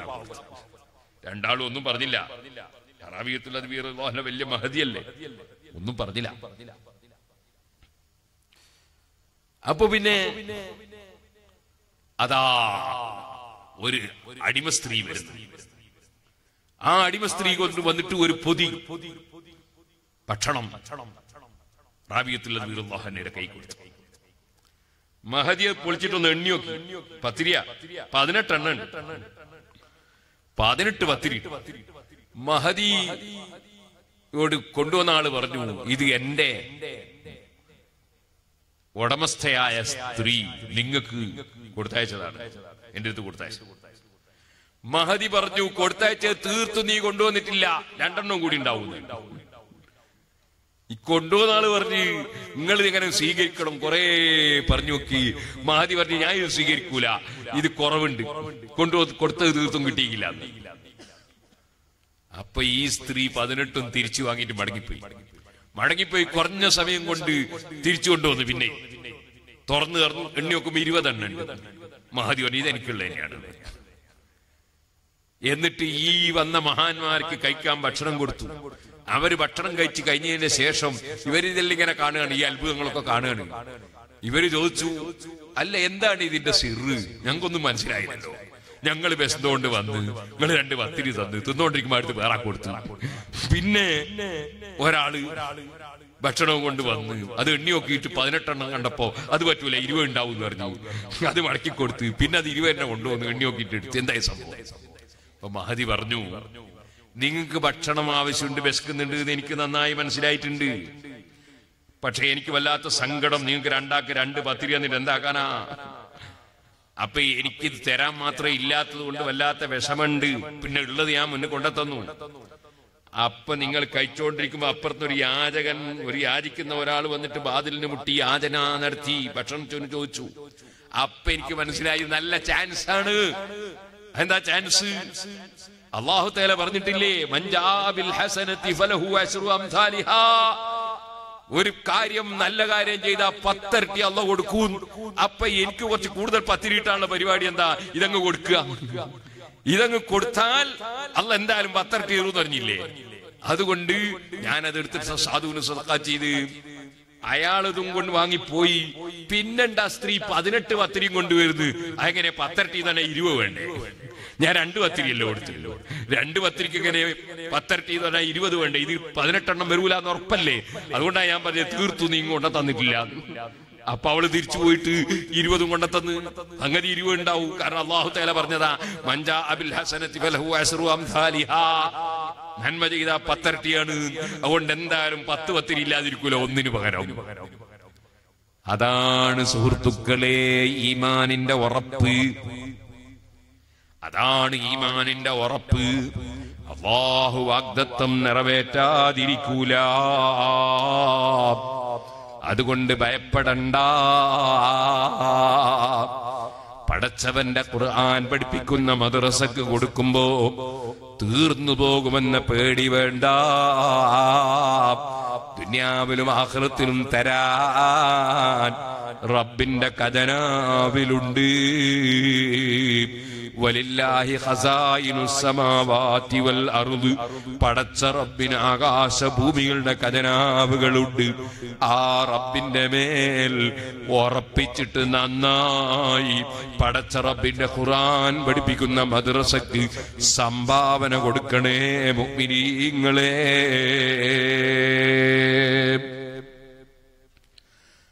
ഞാൻ പറഞ്ഞ വിഷയത്തിലേക്ക് തന്നെ പോകട്ടെ. അള്ളാഹുവിന്റെ സാലിഹീകൾ ആരിഫീകൾ ഔലിയാക്കൾ. ആ മഹാന്മാരുടെ വഴി. അതാണ് സുന്നത്ത് ജമാഅത്തിന്റെ വഴി. ആ വഴി പിന്തുടർന്നുകൊണ്ട് ഹിതായത്തിലായി നമുക്ക് ജീവിച്ച് മരിക്കാൻ കഴിയണം. ആ ഹിതായത്താണ് ഏറ്റവും വലിയ സമ്പത്ത്. ഓ മോമിനികളെ നാം കള്ളുകുടിയന്മാരാകരുത്. വ്യഭിചാരികളാകരുത്. ഓ സഹോദരിമാരെ അന്യപുരുഷനെ ടെലിഫോൺ ചെയ്യരുത്. അന്യപുരുഷനുമായി ആകർഷണീയമായ നിലയ്ക്ക് സംസാരിക്കരുത്.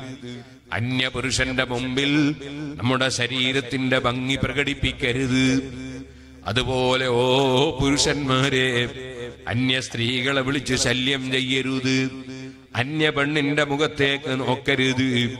അന്യ പെണ്ണിന്റെ ശബ്ദം കേട്ടോ നോക്കിയോ രസിക്കരുത്.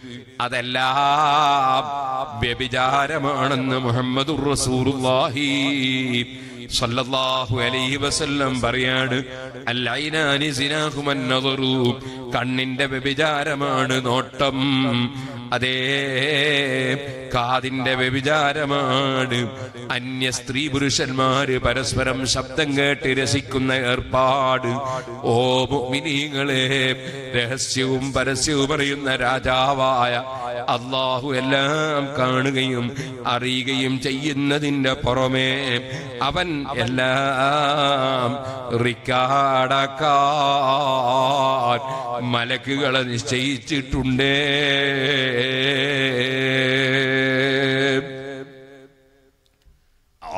റബ്ബിനെ ഭയപ്പെട്ട്. അള്ളാഹുവിനെ സ്നേഹിച്ച് അള്ളാഹുവിൽ അർപ്പിച്ച് അള്ളാഹു തരുന്നത് പൊരുത്തപ്പെട്ട് ജീവിക്കണം. മഹാനായ മഹീദ്ദീൻ അബ്ദുൽ ഖാദിർ ജീലാനി തങ്ങൾ ഉമ്മയോട് ഇൽമ പഠിക്കാൻ വേണ്ടി പോകാൻ അനുമതി ചോദിക്കാണ് ഇൽമ പഠിക്കാൻ വേണ്ടി പറഞ്ഞേക്കുകയാണ്. പോകുന്ന സമയത്ത് നാൽപ്പത് സ്വർണ നാണയം എടുത്ത് ആരും കാണാതെ ശീലയിൽ ചുറ്റിയിട്ട് കക്ഷത്ത് വെച്ച് കൊടുത്തിട്ട് മോനെ ജീവിതത്തിൽ കളവ് പറയരുതേ.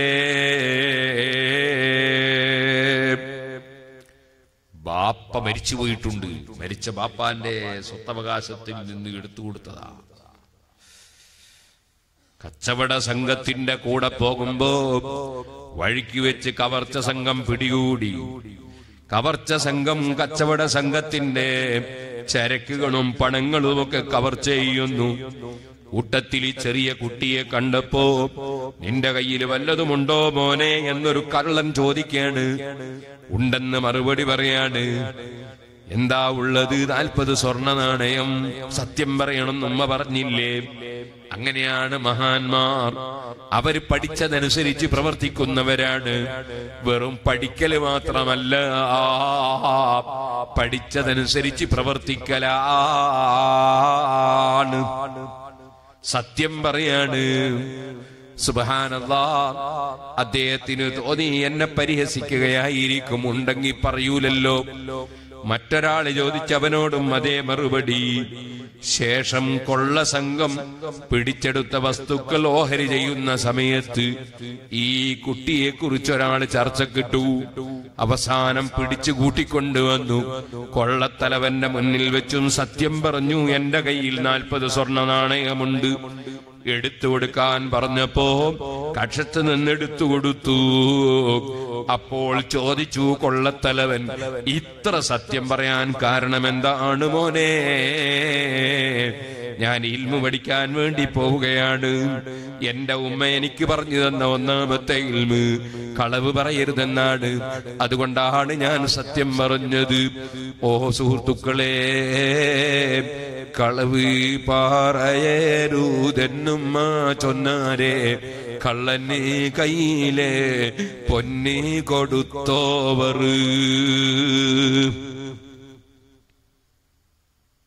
ആ കൊള്ളത്തലവൻ ചിന്തിച്ചു ഈ കുട്ടി ഇത്രയും സത്യസന്ധനായി ജീവിക്കുന്നുവെങ്കിൽ ഞാൻ എത്ര കാലമായി കൊള്ളയും കൊലയുമായിട്ട് നടക്കുന്നു? ഞാനൊന്ന് നന്നാകണ്ടേ? ആ കൊള്ളത്തലവൻ അവിടെ നിന്ന് തന്നെ പിടിച്ചെടുത്തത് മുഴുവനും തിരിച്ചു കൊടുക്കാൻ ഓർഡർ ചെയ്യുന്നു. അദ്ദേഹം തൗബക്കൊരുങ്ങുന്നു. കൊള്ളക്കാര് മുഴുവനും തൗബ ചെയ്യുന്നു. കണ്ടോ ഒരു ബൗസുല്ലാദം തങ്ങളാണ് ഇൽമു പഠിക്കാൻ ഇറങ്ങിയപ്പോ അതിന്റെ പേരിൽ കൊള്ളക്കാര് നന്നാകുന്നു. അള്ളാഹു വലിയ സ്ഥാനം കൊടുത്ത മഹാൻ ആ മുഹീദ്ദീൻ റളിയല്ലാഹു അടക്കം എത്ര എത്ര സാലിഹീങ്ങൾ കഴിഞ്ഞു പോയി. അവരുടെ മാർഗം അവലംബിച്ച് ജീവിക്കുന്നവരാണ് അഹ്ലുസുന്നത്തി വൽ ജമാ.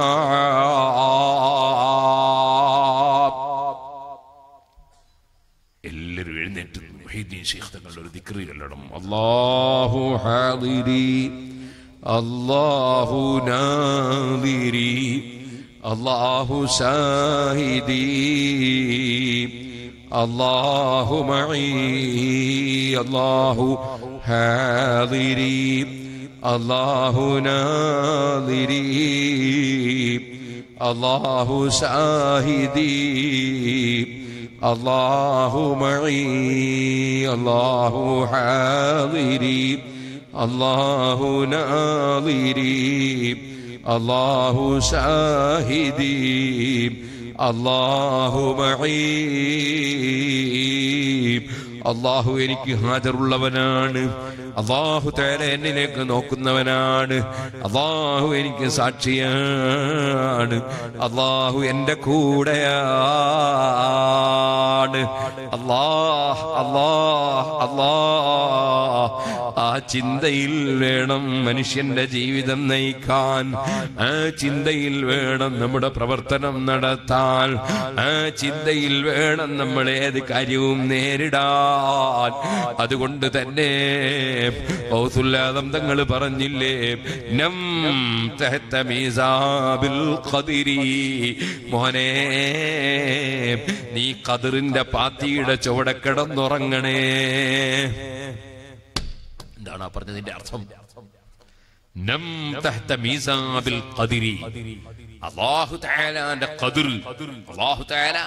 അവന്റെ തീരുമാനപ്രകാരം ഈ ഭൂമിയിൽ ചെയ്യുന്ന കാര്യങ്ങളുണ്ട്. അങ്ങനെയുള്ള കാര്യങ്ങൾ അള്ളാഹു ചെയ്യുമ്പോൾ നീ അവൻ ആ കതിറാകുന്ന പാത്തിയിൽ നിന്ന് നിനക്ക് എന്താണോ ചൊരിച്ചു തരുന്നത്? ഒരുപക്ഷേ തണുപ്പുള്ളത് ഒരുപക്ഷേ ചൂടുള്ളത് ഒരുപക്ഷേ നല്ലത് ഒരുപക്ഷേ നിനക്ക് വിഷമമുള്ളത്. എന്ത് അവൻ അവന്റെ കതിറനുസരിച്ച് നിനക്ക് തന്നാലും നീ വിശ്രമിക്കണം. നീ അവിടുന്ന് എവിടെയും പോകരുത്. അള്ളാഹുവിന്റെ കതിറിൽ തൃപ്തിയുള്ളവനാകണം. അള്ളാഹുവിന്റെ കതിറിൽ തൃപ്തിയുള്ളവനാകണം. രോഗം വന്നാൽ എനിക്ക് പഠിച്ചവനെതിനായി രോഗം തന്നതെന്ന് ചോദിക്കാൻ പാടില്ല. ഒരു വിഷമം തന്നാൽ എന്നെന്തിനാ അല്ല വിഷമിപ്പിക്കുന്നതെന്ന് പറയാൻ പാടില്ല. നിന്റെ കച്ചവടം പൊളിഞ്ഞു പോയാൽ നീ പടച്ചവനെ മോശമായി കാണാൻ പാടില്ല. അള്ളാഹുവിന്റെ കതിറിൽ തൃപ്തി വേണം. സുഹൃത്തുക്കളെ ഞാൻ റാബിയത്തുള്ളത് മോഹനയുടെ സംഭവം പറഞ്ഞില്ലേ? റാബിയത്തുള്ളത് മോഹനയുടെ ബാപ്പയും ഉമ്മയും വലിയ ഞെരിക്കക്കാരായിരുന്നു. മൂന്ന് പെൺകുട്ടികളാണ്. നാലാമത് ജനിച്ചവരാണ് റാബിയ അതുകൊണ്ടാണ് റാബിയ എന്ന് പേരിട്ടത് നാലാമത്. നാലാമതി നാലാമത്തവൾ എന്നാണ് ആ വാക്കിന്റെ അർത്ഥം. മൂന്നും പെൺകുട്ടികളാണ്. നാലാമത്തെ പെണ്ണാണ് റാബിയത്തുല്ലതവിയ പ്രസവിച്ചു നോക്കുമ്പോൾ വീട്ടിൽ കത്തിക്കാൻ എണ്ണയില്ല. വിളക്ക് കത്തിക്കാൻ എണ്ണയില്ല. പ്രസവിച്ച പെണ്ണിന് കഴിക്കാൻ ഭക്ഷണമില്ല. പ്രസവിച്ച കുട്ടിയൊന്ന് പൊതിയാൻ ഒരു തുണിക്കഷ്ണമില്ല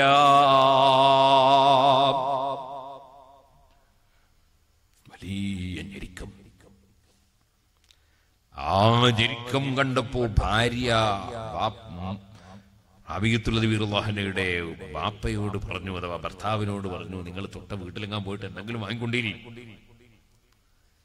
മാനവറുകൾ ആരോടും ഒന്നും ചോദിക്കുന്ന പതിവില്ല. എന്നാലും ഭാര്യ നിർബന്ധിച്ചപ്പോൾ അങ്ങോട്ട് പോകാൻ തീരുമാനിച്ചു തൊട്ടടുത്തുള്ള വീട്ടിലേക്ക് ആ വീട്ടിന്റെ സമീപത്ത് നിന്ന് ഗേറ്റും പിടിച്ചു നിന്നു. പക്ഷേ മുട്ടി ചോദിക്കാൻ മനസ്സനുവദിച്ചില്ല. ആരോടും ജീവിതത്തിലൊന്നും ചോദിച്ചിട്ടില്ല.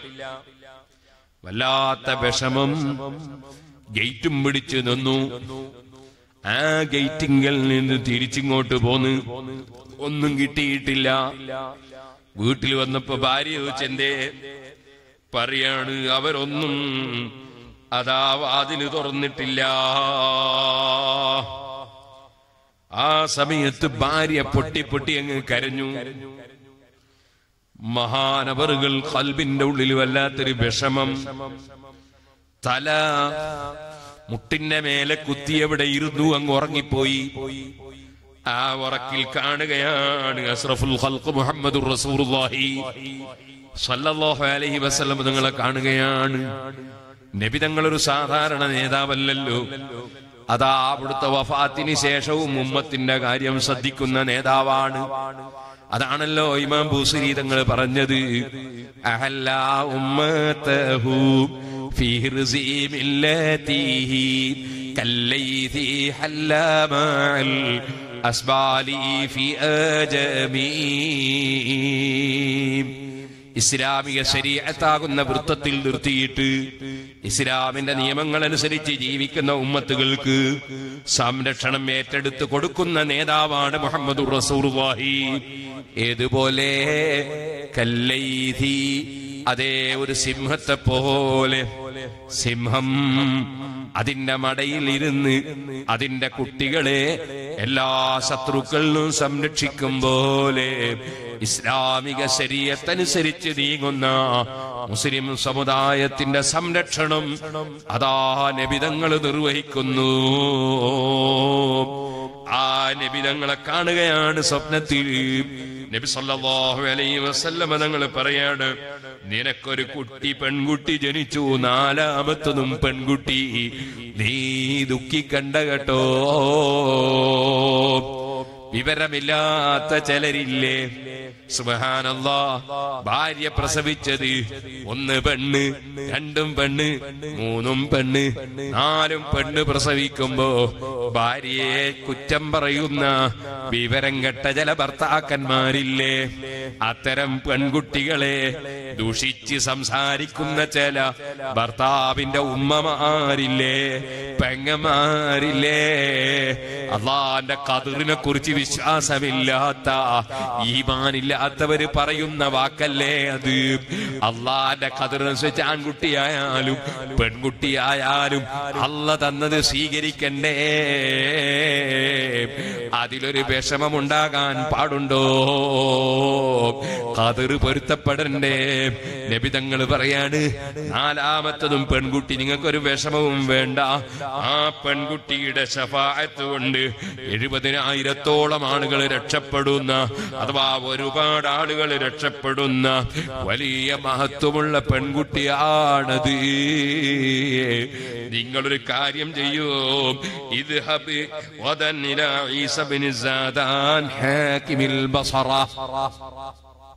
ബസറയിലെ ഭരണാധികാരി അവിടുത്തെ ജസ്റ്റിസ് ജഡ്ജി ആ ഭരണാധികാരിയുടെ സമീപത്ത് നാളെ നിങ്ങൾ പോകണം. ഈസബിന് സാദാൻ എന്നാണ് അദ്ദേഹത്തിന്റെ പേര്. നബി സല്ലാഹുസ്ലം പറഞ്ഞു കൊടുക്കുക അയാളോട് പോയിട്ട് പറയണം. എന്നെ റസൂർഹി സല്ലാഹു നിങ്ങൾ അയച്ചതാണെന്ന് പറയണം. ഒരു എഴുത്ത് കൊടുത്താൽ അത് കൂടുതൽ സൗകര്യമാവും. എന്നിട്ട് പറയണം എന്റെ പേരിൽ എല്ലാ ദിവസവും അദ്ദേഹം നൂറ് സലാത്തി കൊല്ലാറുണ്ട് വെള്ളിയാഴ്ച രാവ് നാനൂറ് സലാത്തി കൊല്ലാറുണ്ട് പക്ഷേ ഇന്നലെ രാത്രിയിൽ സലാത്ത് ചൊല്ലാൻ മറന്നുപോയിട്ടുണ്ട്. ബസറയിലെ ഭരണാധികാരി ഇന്നലെ രാത്രി സലാത്ത് ചൊല്ലാൻ മറന്നുപോയിട്ടുണ്ട്. അത് പറഞ്ഞിട്ട് അയാളോട് പറയണം അതിന് പകരം നാനൂറ് സ്വർണ നാണയം നിങ്ങൾക്ക് തരാൻ പറയണം? ഇന്നലെ സലാത്ത് ചൊല്ലിയിട്ടില്ല. അതിന് പകരം നാനൂറ് സ്വർണ നാണയം നിങ്ങൾക്ക് തരാൻ ഞാൻ പറഞ്ഞു എന്ന് പറയണം. അദ്ദേഹം ചൊല്ലുന്ന സലാത്തിനെ കുറിച്ചോ ഇന്നലെ മറന്നതിനെ കുറിച്ചോ ഒന്ന് പറയാത്ത അബൂറാബിയാഹു പോവുകയാണ് ഭരണാധികാരിയുടെ സമീപത്ത്. ഒരു കടലാസിന് വിഷയവും എഴുതിയെടുത്തിട്ടാ പോയത് ചിലപ്പോ ഭരണാധികാരിയെ കാണാൻ കഴിഞ്ഞില്ലെങ്കിൽ ഗേറ്റ് മേന്റെ കയ്യിൽ കൊടുക്കാമല്ലോ ഈ വിവരം. എഴുത്തുമെടുത്തു പോയി ഗേറ്റ് മേനെ കണ്ടു. ആ കത്തങ്ങോട്ട് കൊടുത്തു. ആ കത്ത് കിട്ടിയപ്പോൾ ഭരണാധികാരിക്ക് വലിയ സന്തോഷം. നബി സല്ലല്ലാഹു അലൈഹി വസല്ലമ തങ്ങളെ പേരുള്ള സ്വലാത്ത് മറന്നപ്പോ നബി തങ്ങൾ എന്നെ ഓർമ്മിപ്പിച്ചല്ലോ. അതേ സുഹൃത്തുക്കളെ ഒരു പരിഗണനയില്ലാത്തവരെ ഓർമ്മിപ്പിക്കൂലല്ലോ. എന്നെ റസൂലുള്ള പരിഗണിച്ചല്ലോ. എന്നെ ഓർമ്മിപ്പിച്ചല്ലോ. ആ വകയിൽ ശുക്രായിട്ട് രണ്ടായിരം സ്വർണ നാണയം അപ്പോൾ തന്നെ സാധുക്കൾക്ക് ധർമ്മം ചെയ്യാൻ ഓർഡർ ചെയ്യുകയാണ്. ഈ വന്ന ആൾക്ക് കൊടുക്കാനുള്ള നാനൂറ് സ്വർണ നാണയവുമായി കൊട്ടാരത്തിന്റെ ഉള്ളിൽ ഇറങ്ങി ഇങ്ങോട്ട് വരികയാണ്. അള്ളാന്റെ റസൂൽ പറഞ്ഞേച്ചാളല്ലേ അദ്ദേഹത്തിന് ഞാൻ തന്നെ കൊണ്ട കൊടുക്കും. സ്വന്തം തന്നെ വന്ന് കയ്യിലേക്ക് കൈമാറുകയാണ്. ആ സ്വർണ നാണയവുമായി തിരിച്ചു വന്ന മക്കൾക്കും അതുപോലെ കുടുംബത്തിലും അത് ചെലവഴിക്കുകയാണ്. എന്റെ ഉമ്മമാരെ ഓ മുഅ്മിനീങ്ങളെ വിദേശ രാജ്യങ്ങളിലൊക്കെ പോകുന്ന ചിലര് ഒരു ദിവസം പതിനായിരം ദിർഹമോ റിയാലോ ലാഭം കിട്ടിയവർക്ക് ഇപ്പൊ കുറച്ച് ദിവസമായിട്ട് ലാഭം എണ്ണായിരമായി ഏഴായിരമായി ആറായിരമായി അയ്യായിരമായൊക്കെ ചുരുങ്ങുമ്പോൾ അവർ വല്ലാത്ത ഞെരിക്കം ഇങ്ങനെ തോന്നുകയാണ് അവർക്ക്. പടച്ചവൻ അത്ര തന്നല്ലോ എന്ന് ചിന്തിക്കുന്നതിന് പകരം കുറഞ്ഞു പോയ ബേജാറിലാണ്. അതിന് പകരം അള്ളാഹു മുമ്പ് തന്നതിന് ശുക്ർ ചെയ്യണ്ടേ ഇപ്പോഴും തന്നുകൊണ്ടിരിക്കുന്നതിന് ശുക്ർ ചെയ്യണ്ടേ. സുഹൃത്തുക്കളെ മഹാനവറുകൾക്ക് കിട്ടിയതൊക്കെ ചെലവഴിച്ച് തീർന്നു പോയി. റാബിയത്തുള്ളത് വീറതിയോന്ന വളരുകയാണ്. ബാപ്പ മരിച്ചു പോയി ഉമ്മ മരിച്ചു പോയി നോക്കാനാരുമില്ല. നേരത്തെയുള്ള സഹോദരിമാരൊക്കെ വിവാഹം കഴിച്ച് പല വഴിക്കും നീങ്ങിപ്പോയി. മഹതിയെ നോക്കാൻ ആരുമില്ല വല്ലാത്ത ഒരു വലിയ ഞെരിക്കം ബസറയിൽ വന്നപ്പോൾ ഒരക്രമിയായ മനുഷ്യൻ ബീവിയെ പിടിച്ച് സുബഹാനല്ലാ ആറ് ദീർഹവിന് വിറ്റ് കളഞ്ഞു. മഹതിയായ റാബിയത്തുള്ളത് റളിയല്ലാഹു എന്നെ ആറ് ദിർഹമിന് വിറ്റ് കളഞ്ഞു. വാങ്ങിയ ആളാണെങ്കിലോ കഷ്ടപ്പെടുത്ത് തൊഴിലെടുപ്പിക്കുകയാണ്. വല്ലാത്ത പ്രയാസം. ക്ഷമിച്ച് പഠിക്കണം മോമിനീങ്ങളെ. ക്ഷമയുണ്ടാകണം മോമിനാത്തുകളെ. ഒരു ചെറിയ പ്രയാസം വരുമ്പോഴേക്ക് പതറിപ്പോകരുത്. നിങ്ങൾ കുറ്റ്യാടി സിറാജുലുദന്റെ കണ്ടുകൊടുത്തൻ സിറാജുൽ ഹുദ കുറ്റിയാടി തുടങ്ങുമ്പോ പതിനൊന്ന് മഹലിൽ സുന്നിയക്ക് മദ്രസയും പള്ളിയൊന്നുമില്ല. ഒക്കെ ബാല്യ കോടീശ്വരന്മാരായ മുതലാളിമാരൊക്കെ പുത്തൻവാദികൾ മുജാഹിദും ജമാഅത്ത് ഇസ്ലാമി. അവിടെ ഓല ഷെഡ് കെട്ടി പത്തൊമ്പത് സെന്റ് സ്ഥലത്ത് തുടങ്ങി സിറാജുള്ളതാ അപ്പൊ നമ്മളെന്ത് ചെയ്തു? ആ ഷെഡിൽ തന്നെ ജുമയും തുടങ്ങി ഷെഡിൽ തന്നെ ദർസും തുടങ്ങി ഷെഡിൽ തന്നെ മദ്രസയും തുടങ്ങി. എല്ലാം ഷെഡിലും നമ്മളെ ജുമാക്ക് വരാൻ തുടങ്ങി. ഈമാനുള്ള മൂമിനികൾ ജുമാ അറബിയിൽ കുത്തുബോധിയിട്ട് ജുമ സ്കെച്ചാലേ ജുമയാവുള്ളൂ അല്ലെങ്കിൽ വെറും മീറ്റിംഗ് ആണ്. അത് ഞാൻ ധാരാളം തെളിവുകൾ ഖുർആാനും ഓതി ടൗണിൽ വെച്ച് പ്രസംഗിച്ച് ജനങ്ങളെ ഉത്ബോധരാക്കി. അങ്ങനെ ആളുകൾക്ക് ജുമയൊക്കെ വരാൻ തുടങ്ങി. സാധുക്കൾ പണക്കാര് വരുന്നില്ല. സാധുക്കൾ ഇങ്ങനെ വരിക. പണക്കാർ വരുന്നവർ വളരെ കുറച്ച്. സാധുക്കൾ നബി സല്ലല്ലാഹു അലൈഹി വസല്ലമ തങ്ങളെ കൂടെ ഉണ്ടായതും സാധുക്കൾ തന്നെ. വലിയ പ്രമുഖന്മാര് വരാൻ വലിയ പണിയാ. ഒരു ഹദീസ്.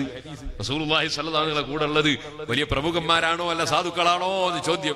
ആല ആല സാധുക്കളാ കൂടുതലും.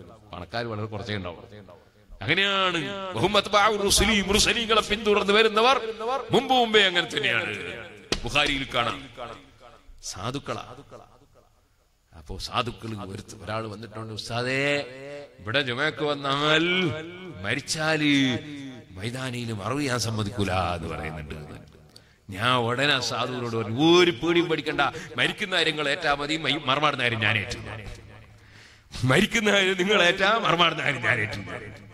അദ്ദേഹത്തിന് ധൈര്യം കൊടുത്തതാ കാരണം സുപ്രീം കോടതിയുടെ വിധിയാണ് ഒരു കബുർസ്ഥാനിയും തടയാൻ പറ്റൂല. ഓ സഹോദരന്മാരെ സാധുക്കൾ അവർക്ക് ചിലപ്പം വലിയ പ്രയാസം വരും. പ്രയാസം വരുമ്പോഴൊന്നും പതറിപ്പോകരുത്. ബഹുമാനപ്പെട്ട ഈ മനുഷ്യന് തൊഴിലെടുത്ത് ജീവിക്കാണ്. രാത്രി സമയത്ത് ആയിരക്കണക്കിന് റക്കയത്ത് നിസ്കരിക്കാണ്. പകൽ നോമ്പെടുക്കാണ്. സുബഹാനല്ലാ.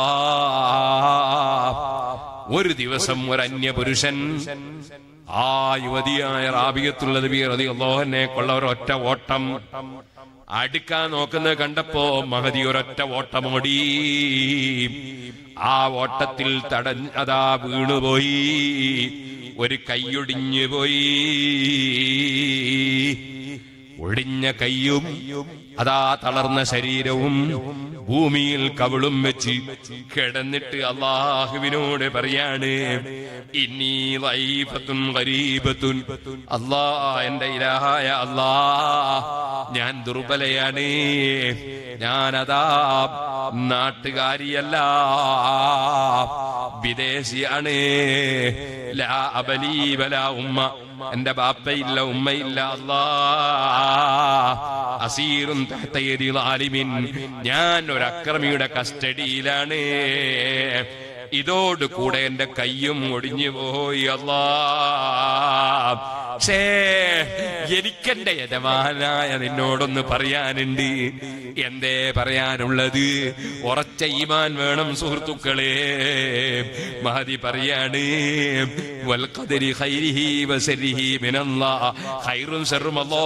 വിശ്വസിക്കുന്നവരല്ലേ നമ്മൾ?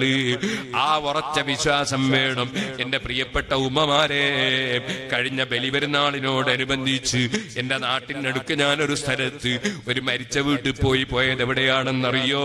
രണ്ട് ചെറിയ പിഞ്ചുകുട്ടികളെയും കൂട്ടിയിട്ട് ഒരു പെണ്ണ് കിണറ്റിലേക്ക് ചാടി. ആ കിണറ്റിൽ രണ്ട് കുട്ടികളും വെള്ളം കുടിച്ച് മരിച്ചുപോയി. പക്ഷേ ഈ പെണ്ണോ അവളതാ മോട്ടറിൽ നിന്ന് ഇറക്കിയിട്ടുള്ള ഓസ് പൈപ്പ് ആ പൈപ്പും പിടിച്ച് നിന്നിട്ട് അവൾ രക്ഷപ്പെട്ടു. മക്കൾ രണ്ടും മരിച്ചുപോയി. ഇതുപോലെ ഞാൻ വേറെ ഒരു സ്ഥലത്തൊരു മരിച്ച വീട്ടിൽ പോയി. എന്നെ വല്ലാതെ സഹായിച്ച ഒരു മനുഷ്യനാണല്ലോ അദ്ദേഹത്തിന് ഹൈർ ചെയ്യട്ടെ. അദ്ദേഹത്തിന്റെ മകൾ വലിയ ഉദ്യോഗസ്ഥയാണ് വലിയ ആരോഗ്യ വലിയ വിദ്യാഭ്യാസമുള്ള പെണ്ണാണ്. ഭർത്താവ് നല്ല കഴിവും വിദ്യാഭ്യാസവും ഉള്ളവനാണ്. പക്ഷെ എന്തോ ഒരു കാരണത്തിന് ഭർത്താവുമായി പറഞ്ഞു തെറ്റിയെന്ന് തോന്നുന്നു. അവൾ നേരെ റോട്ടുമ്മലേക്ക് വന്ന് ഓട്ടോറിക്ഷ കൂട്ടിയിട്ട് ഓട്ടോറിക്ഷയിൽ കയറി നേരെ പോയിട്ട് റെയിലിന്റെ സമീപത്ത് പോയി ഇറങ്ങി വരുന്ന വണ്ടിയുടെ മുന്നിലേക്ക് ചെറിയ പിഞ്ചുകുട്ടിയെയും എടുത്തിട്ട് ഒരൊറ്റ ചാട്ടമാണ്. അവളങ്ങനെ തന്നെ മരണപ്പെട്ടു പോയി. ചെറിയ കുഞ്ഞിന്റെ രണ്ട് കാലും വണ്ടിക്ക് കുടുങ്ങിയിട്ട് കാൽ തെറിച്ചു പോയി. കുട്ടിക്കൊന്നും സംഭവിച്ചിട്ടില്ല. കാൽ മുറിഞ്ഞതേ ഉള്ളൂ. ആ മുറിഞ്ഞ കാലുമെടുത്തിട്ട് ആളുകൾ മംഗലാപുരത്തേക്ക് പോവുകയാണ് ഞാനിത് പറഞ്ഞു വന്നത് എന്തിനാണെന്നറിയോ? എന്തെങ്കിലും ഒരു പ്രയാസം വരുമ്പോഴേക്ക് ഭർത്താവിന്റെ ഒരു വാക്ക് തൽക്കാലം ഇഷ്ടപ്പെടാത്തത് സംഭവിക്കുമ്പോഴേക്ക് അല്ലെങ്കിൽ ഭർത്താവിന്റെ ഉമ്മ തോന്നിവാസം പറഞ്ഞാൽ അല്ലെങ്കിൽ മനസ്സ് വേദനിക്കുന്ന വല്ലതും പറഞ്ഞാൽ അല്ലെങ്കിൽ വല്ല ഞെരിക്കവും വന്നാൽ അല്ലെങ്കിൽ വേറെന്തെങ്കിലും സാമ്പത്തികമായി പൊളിഞ്ഞു പോയാൽ അല്ലെങ്കിൽ മറ്റെന്തെങ്കിലും ടെൻഷൻ വന്നാൽ മരിക്കാൻ ഒരുങ്ങുന്ന വിവരം കെട്ടവരില്ലേ? കൂട്ടത്തിൽ ഒരിക്കലും പെട്ടുപോകരുതേ ഫജസാഉഹു ഖാലിദൻ ആത്മഹത്യ ചെയ്ത് മരിക്കുന്നത് തെറ്റില്ലെന്ന് വിശ്വസിച്ചുകൊണ്ടാണെങ്കിൽ കാലകാലം കാലകാലം കാലകാലം കോടി കോടി കോടി കോടി കോടി കോടി കോടി കോടി കോടി കോടി കോടി കോടി ഞാൻ മരിക്കുന്നവരെ പറഞ്ഞാലും കോടികൾ പറഞ്ഞാലും തീരാത്ത കാലം കഴിഞ്ഞാലും നരക നരകത്തിലാണേ പെണ്ണേ. അതേ സമയത്ത് അങ്ങനെ തെറ്റാണെന്ന് വിശ്വസിച്ചുകൊണ്ടാണ് ചെയ്തതെങ്കിലും എത്രയോ കാലം നരകത്തിൽ തന്നെ. അതുകൊണ്ട് എന്ത് പ്രയാസം വന്നാലും ഞാനങ്ങ് മരിച്ചു കളയാമെന്നോ എന്റെ മക്കളെ അങ്ങ് കൊന്നു കളയാമെന്നോ ചിന്തിക്കുന്ന വിവരക്കേട് വന്നു പോകരുതേ സഹോദരിമാരെ.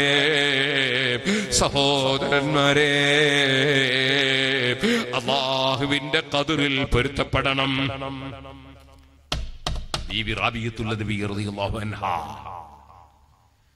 മഹദി അള്ളഹാനോട് പറയാണ് പഠിച്ചവനെ ഇങ്ങനൊക്കെ സംഭവിച്ചു എന്റെ കൈ ഒടിഞ്ഞു പോയി എനിക്ക് ആരുമില്ല ഞാൻ ഒറ്റക്കാണ്. ഞാനൊരു അക്രമിയുടെ കസ്റ്റഡിയിലാണ്. പക്ഷേ വാനറാദിയത്തും ബിജമീഹ അതെല്ലാം ഞാൻ പൊരുത്തപ്പെട്ട പെണ്ണാണ്. നീ എന്റെ യജമാനനായ അള്ളയല്ലേ. നീ എന്ത് തന്നാലും എനിക്ക് ഇഷ്ടമാണ് എനിക്ക് തൃപ്തിയാണ്. എനിക്കൊരു ബേജാറുണ്ട്. എന്റെ ബേജാർ എന്താണെന്നറിയോ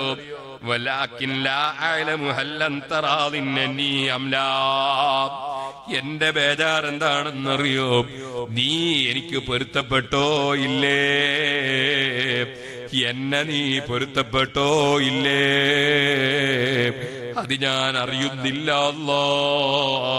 നീ തന്നതൊക്കെ ഞാൻ പൊരുത്തപ്പെട്ടു അല്ലോ. എല്ലാരും എഴുന്നേറ്റ് നിൽക്കണം. ദൂരെ നിൽക്കുന്നവര് സദസ്സിലേക്ക് വരണം. അള്ളാഹുവിനോട് ബഹുമാനപ്പെട്ട ബീവി അങ്ങ് പറയുമ്പോൾ ബീവിയെ അതാ മേൽഭാഗത്തുനിന്ന് കേൾക്കുന്നു ഒരു വാചകം. എന്താ കേൾക്കുന്നത്? അതാ യാ.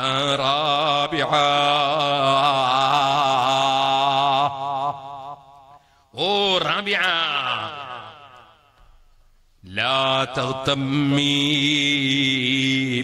നീ ദുഃഖിതയാകണ്ട.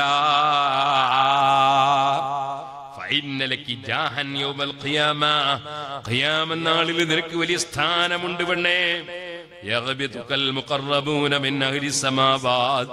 ആകാശക്കാരായ മലക്കുകളടക്കം വലിയ വലിയ ആളുകൾ നിങ്ങൾ കിട്ടുന്ന സ്ഥാനം കണ്ടാൽ അവരാഗ്രഹിച്ചു പോകും കേട്ടോ. വലിയ സ്ഥാനമുണ്ട് നിങ്ങൾക്ക്. മഹതി വീട്ടിലേക്ക് അതേ ഉടമസ്ഥന്റെ വീട്ടിലേക്ക് തിരിക്കുകയാണ്.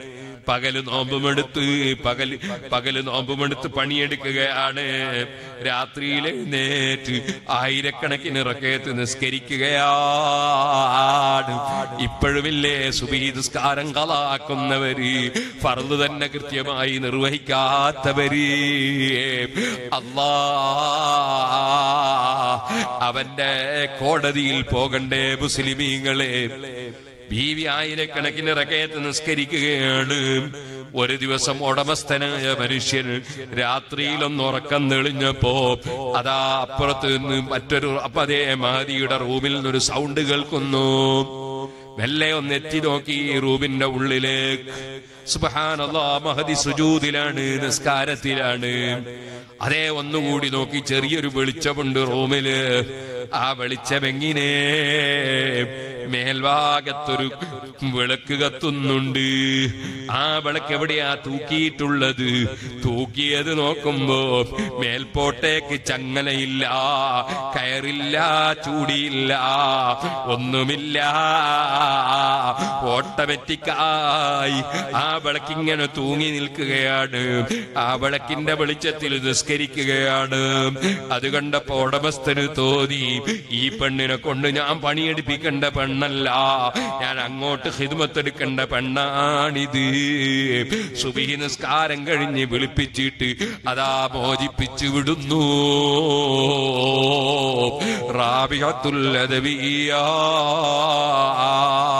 ക്ഷമിച്ചിട്ടാണേ ഉമ്മമാരെ. പ്രയാസങ്ങൾ തരണം ചെയ്തിട്ടാണേ. അള്ളാന്റെ കതിർ ഉറപ്പിച്ചിട്ടാണേ. റബ്ബിനെ പൊരുത്തപ്പെട്ടിട്ടാണ്.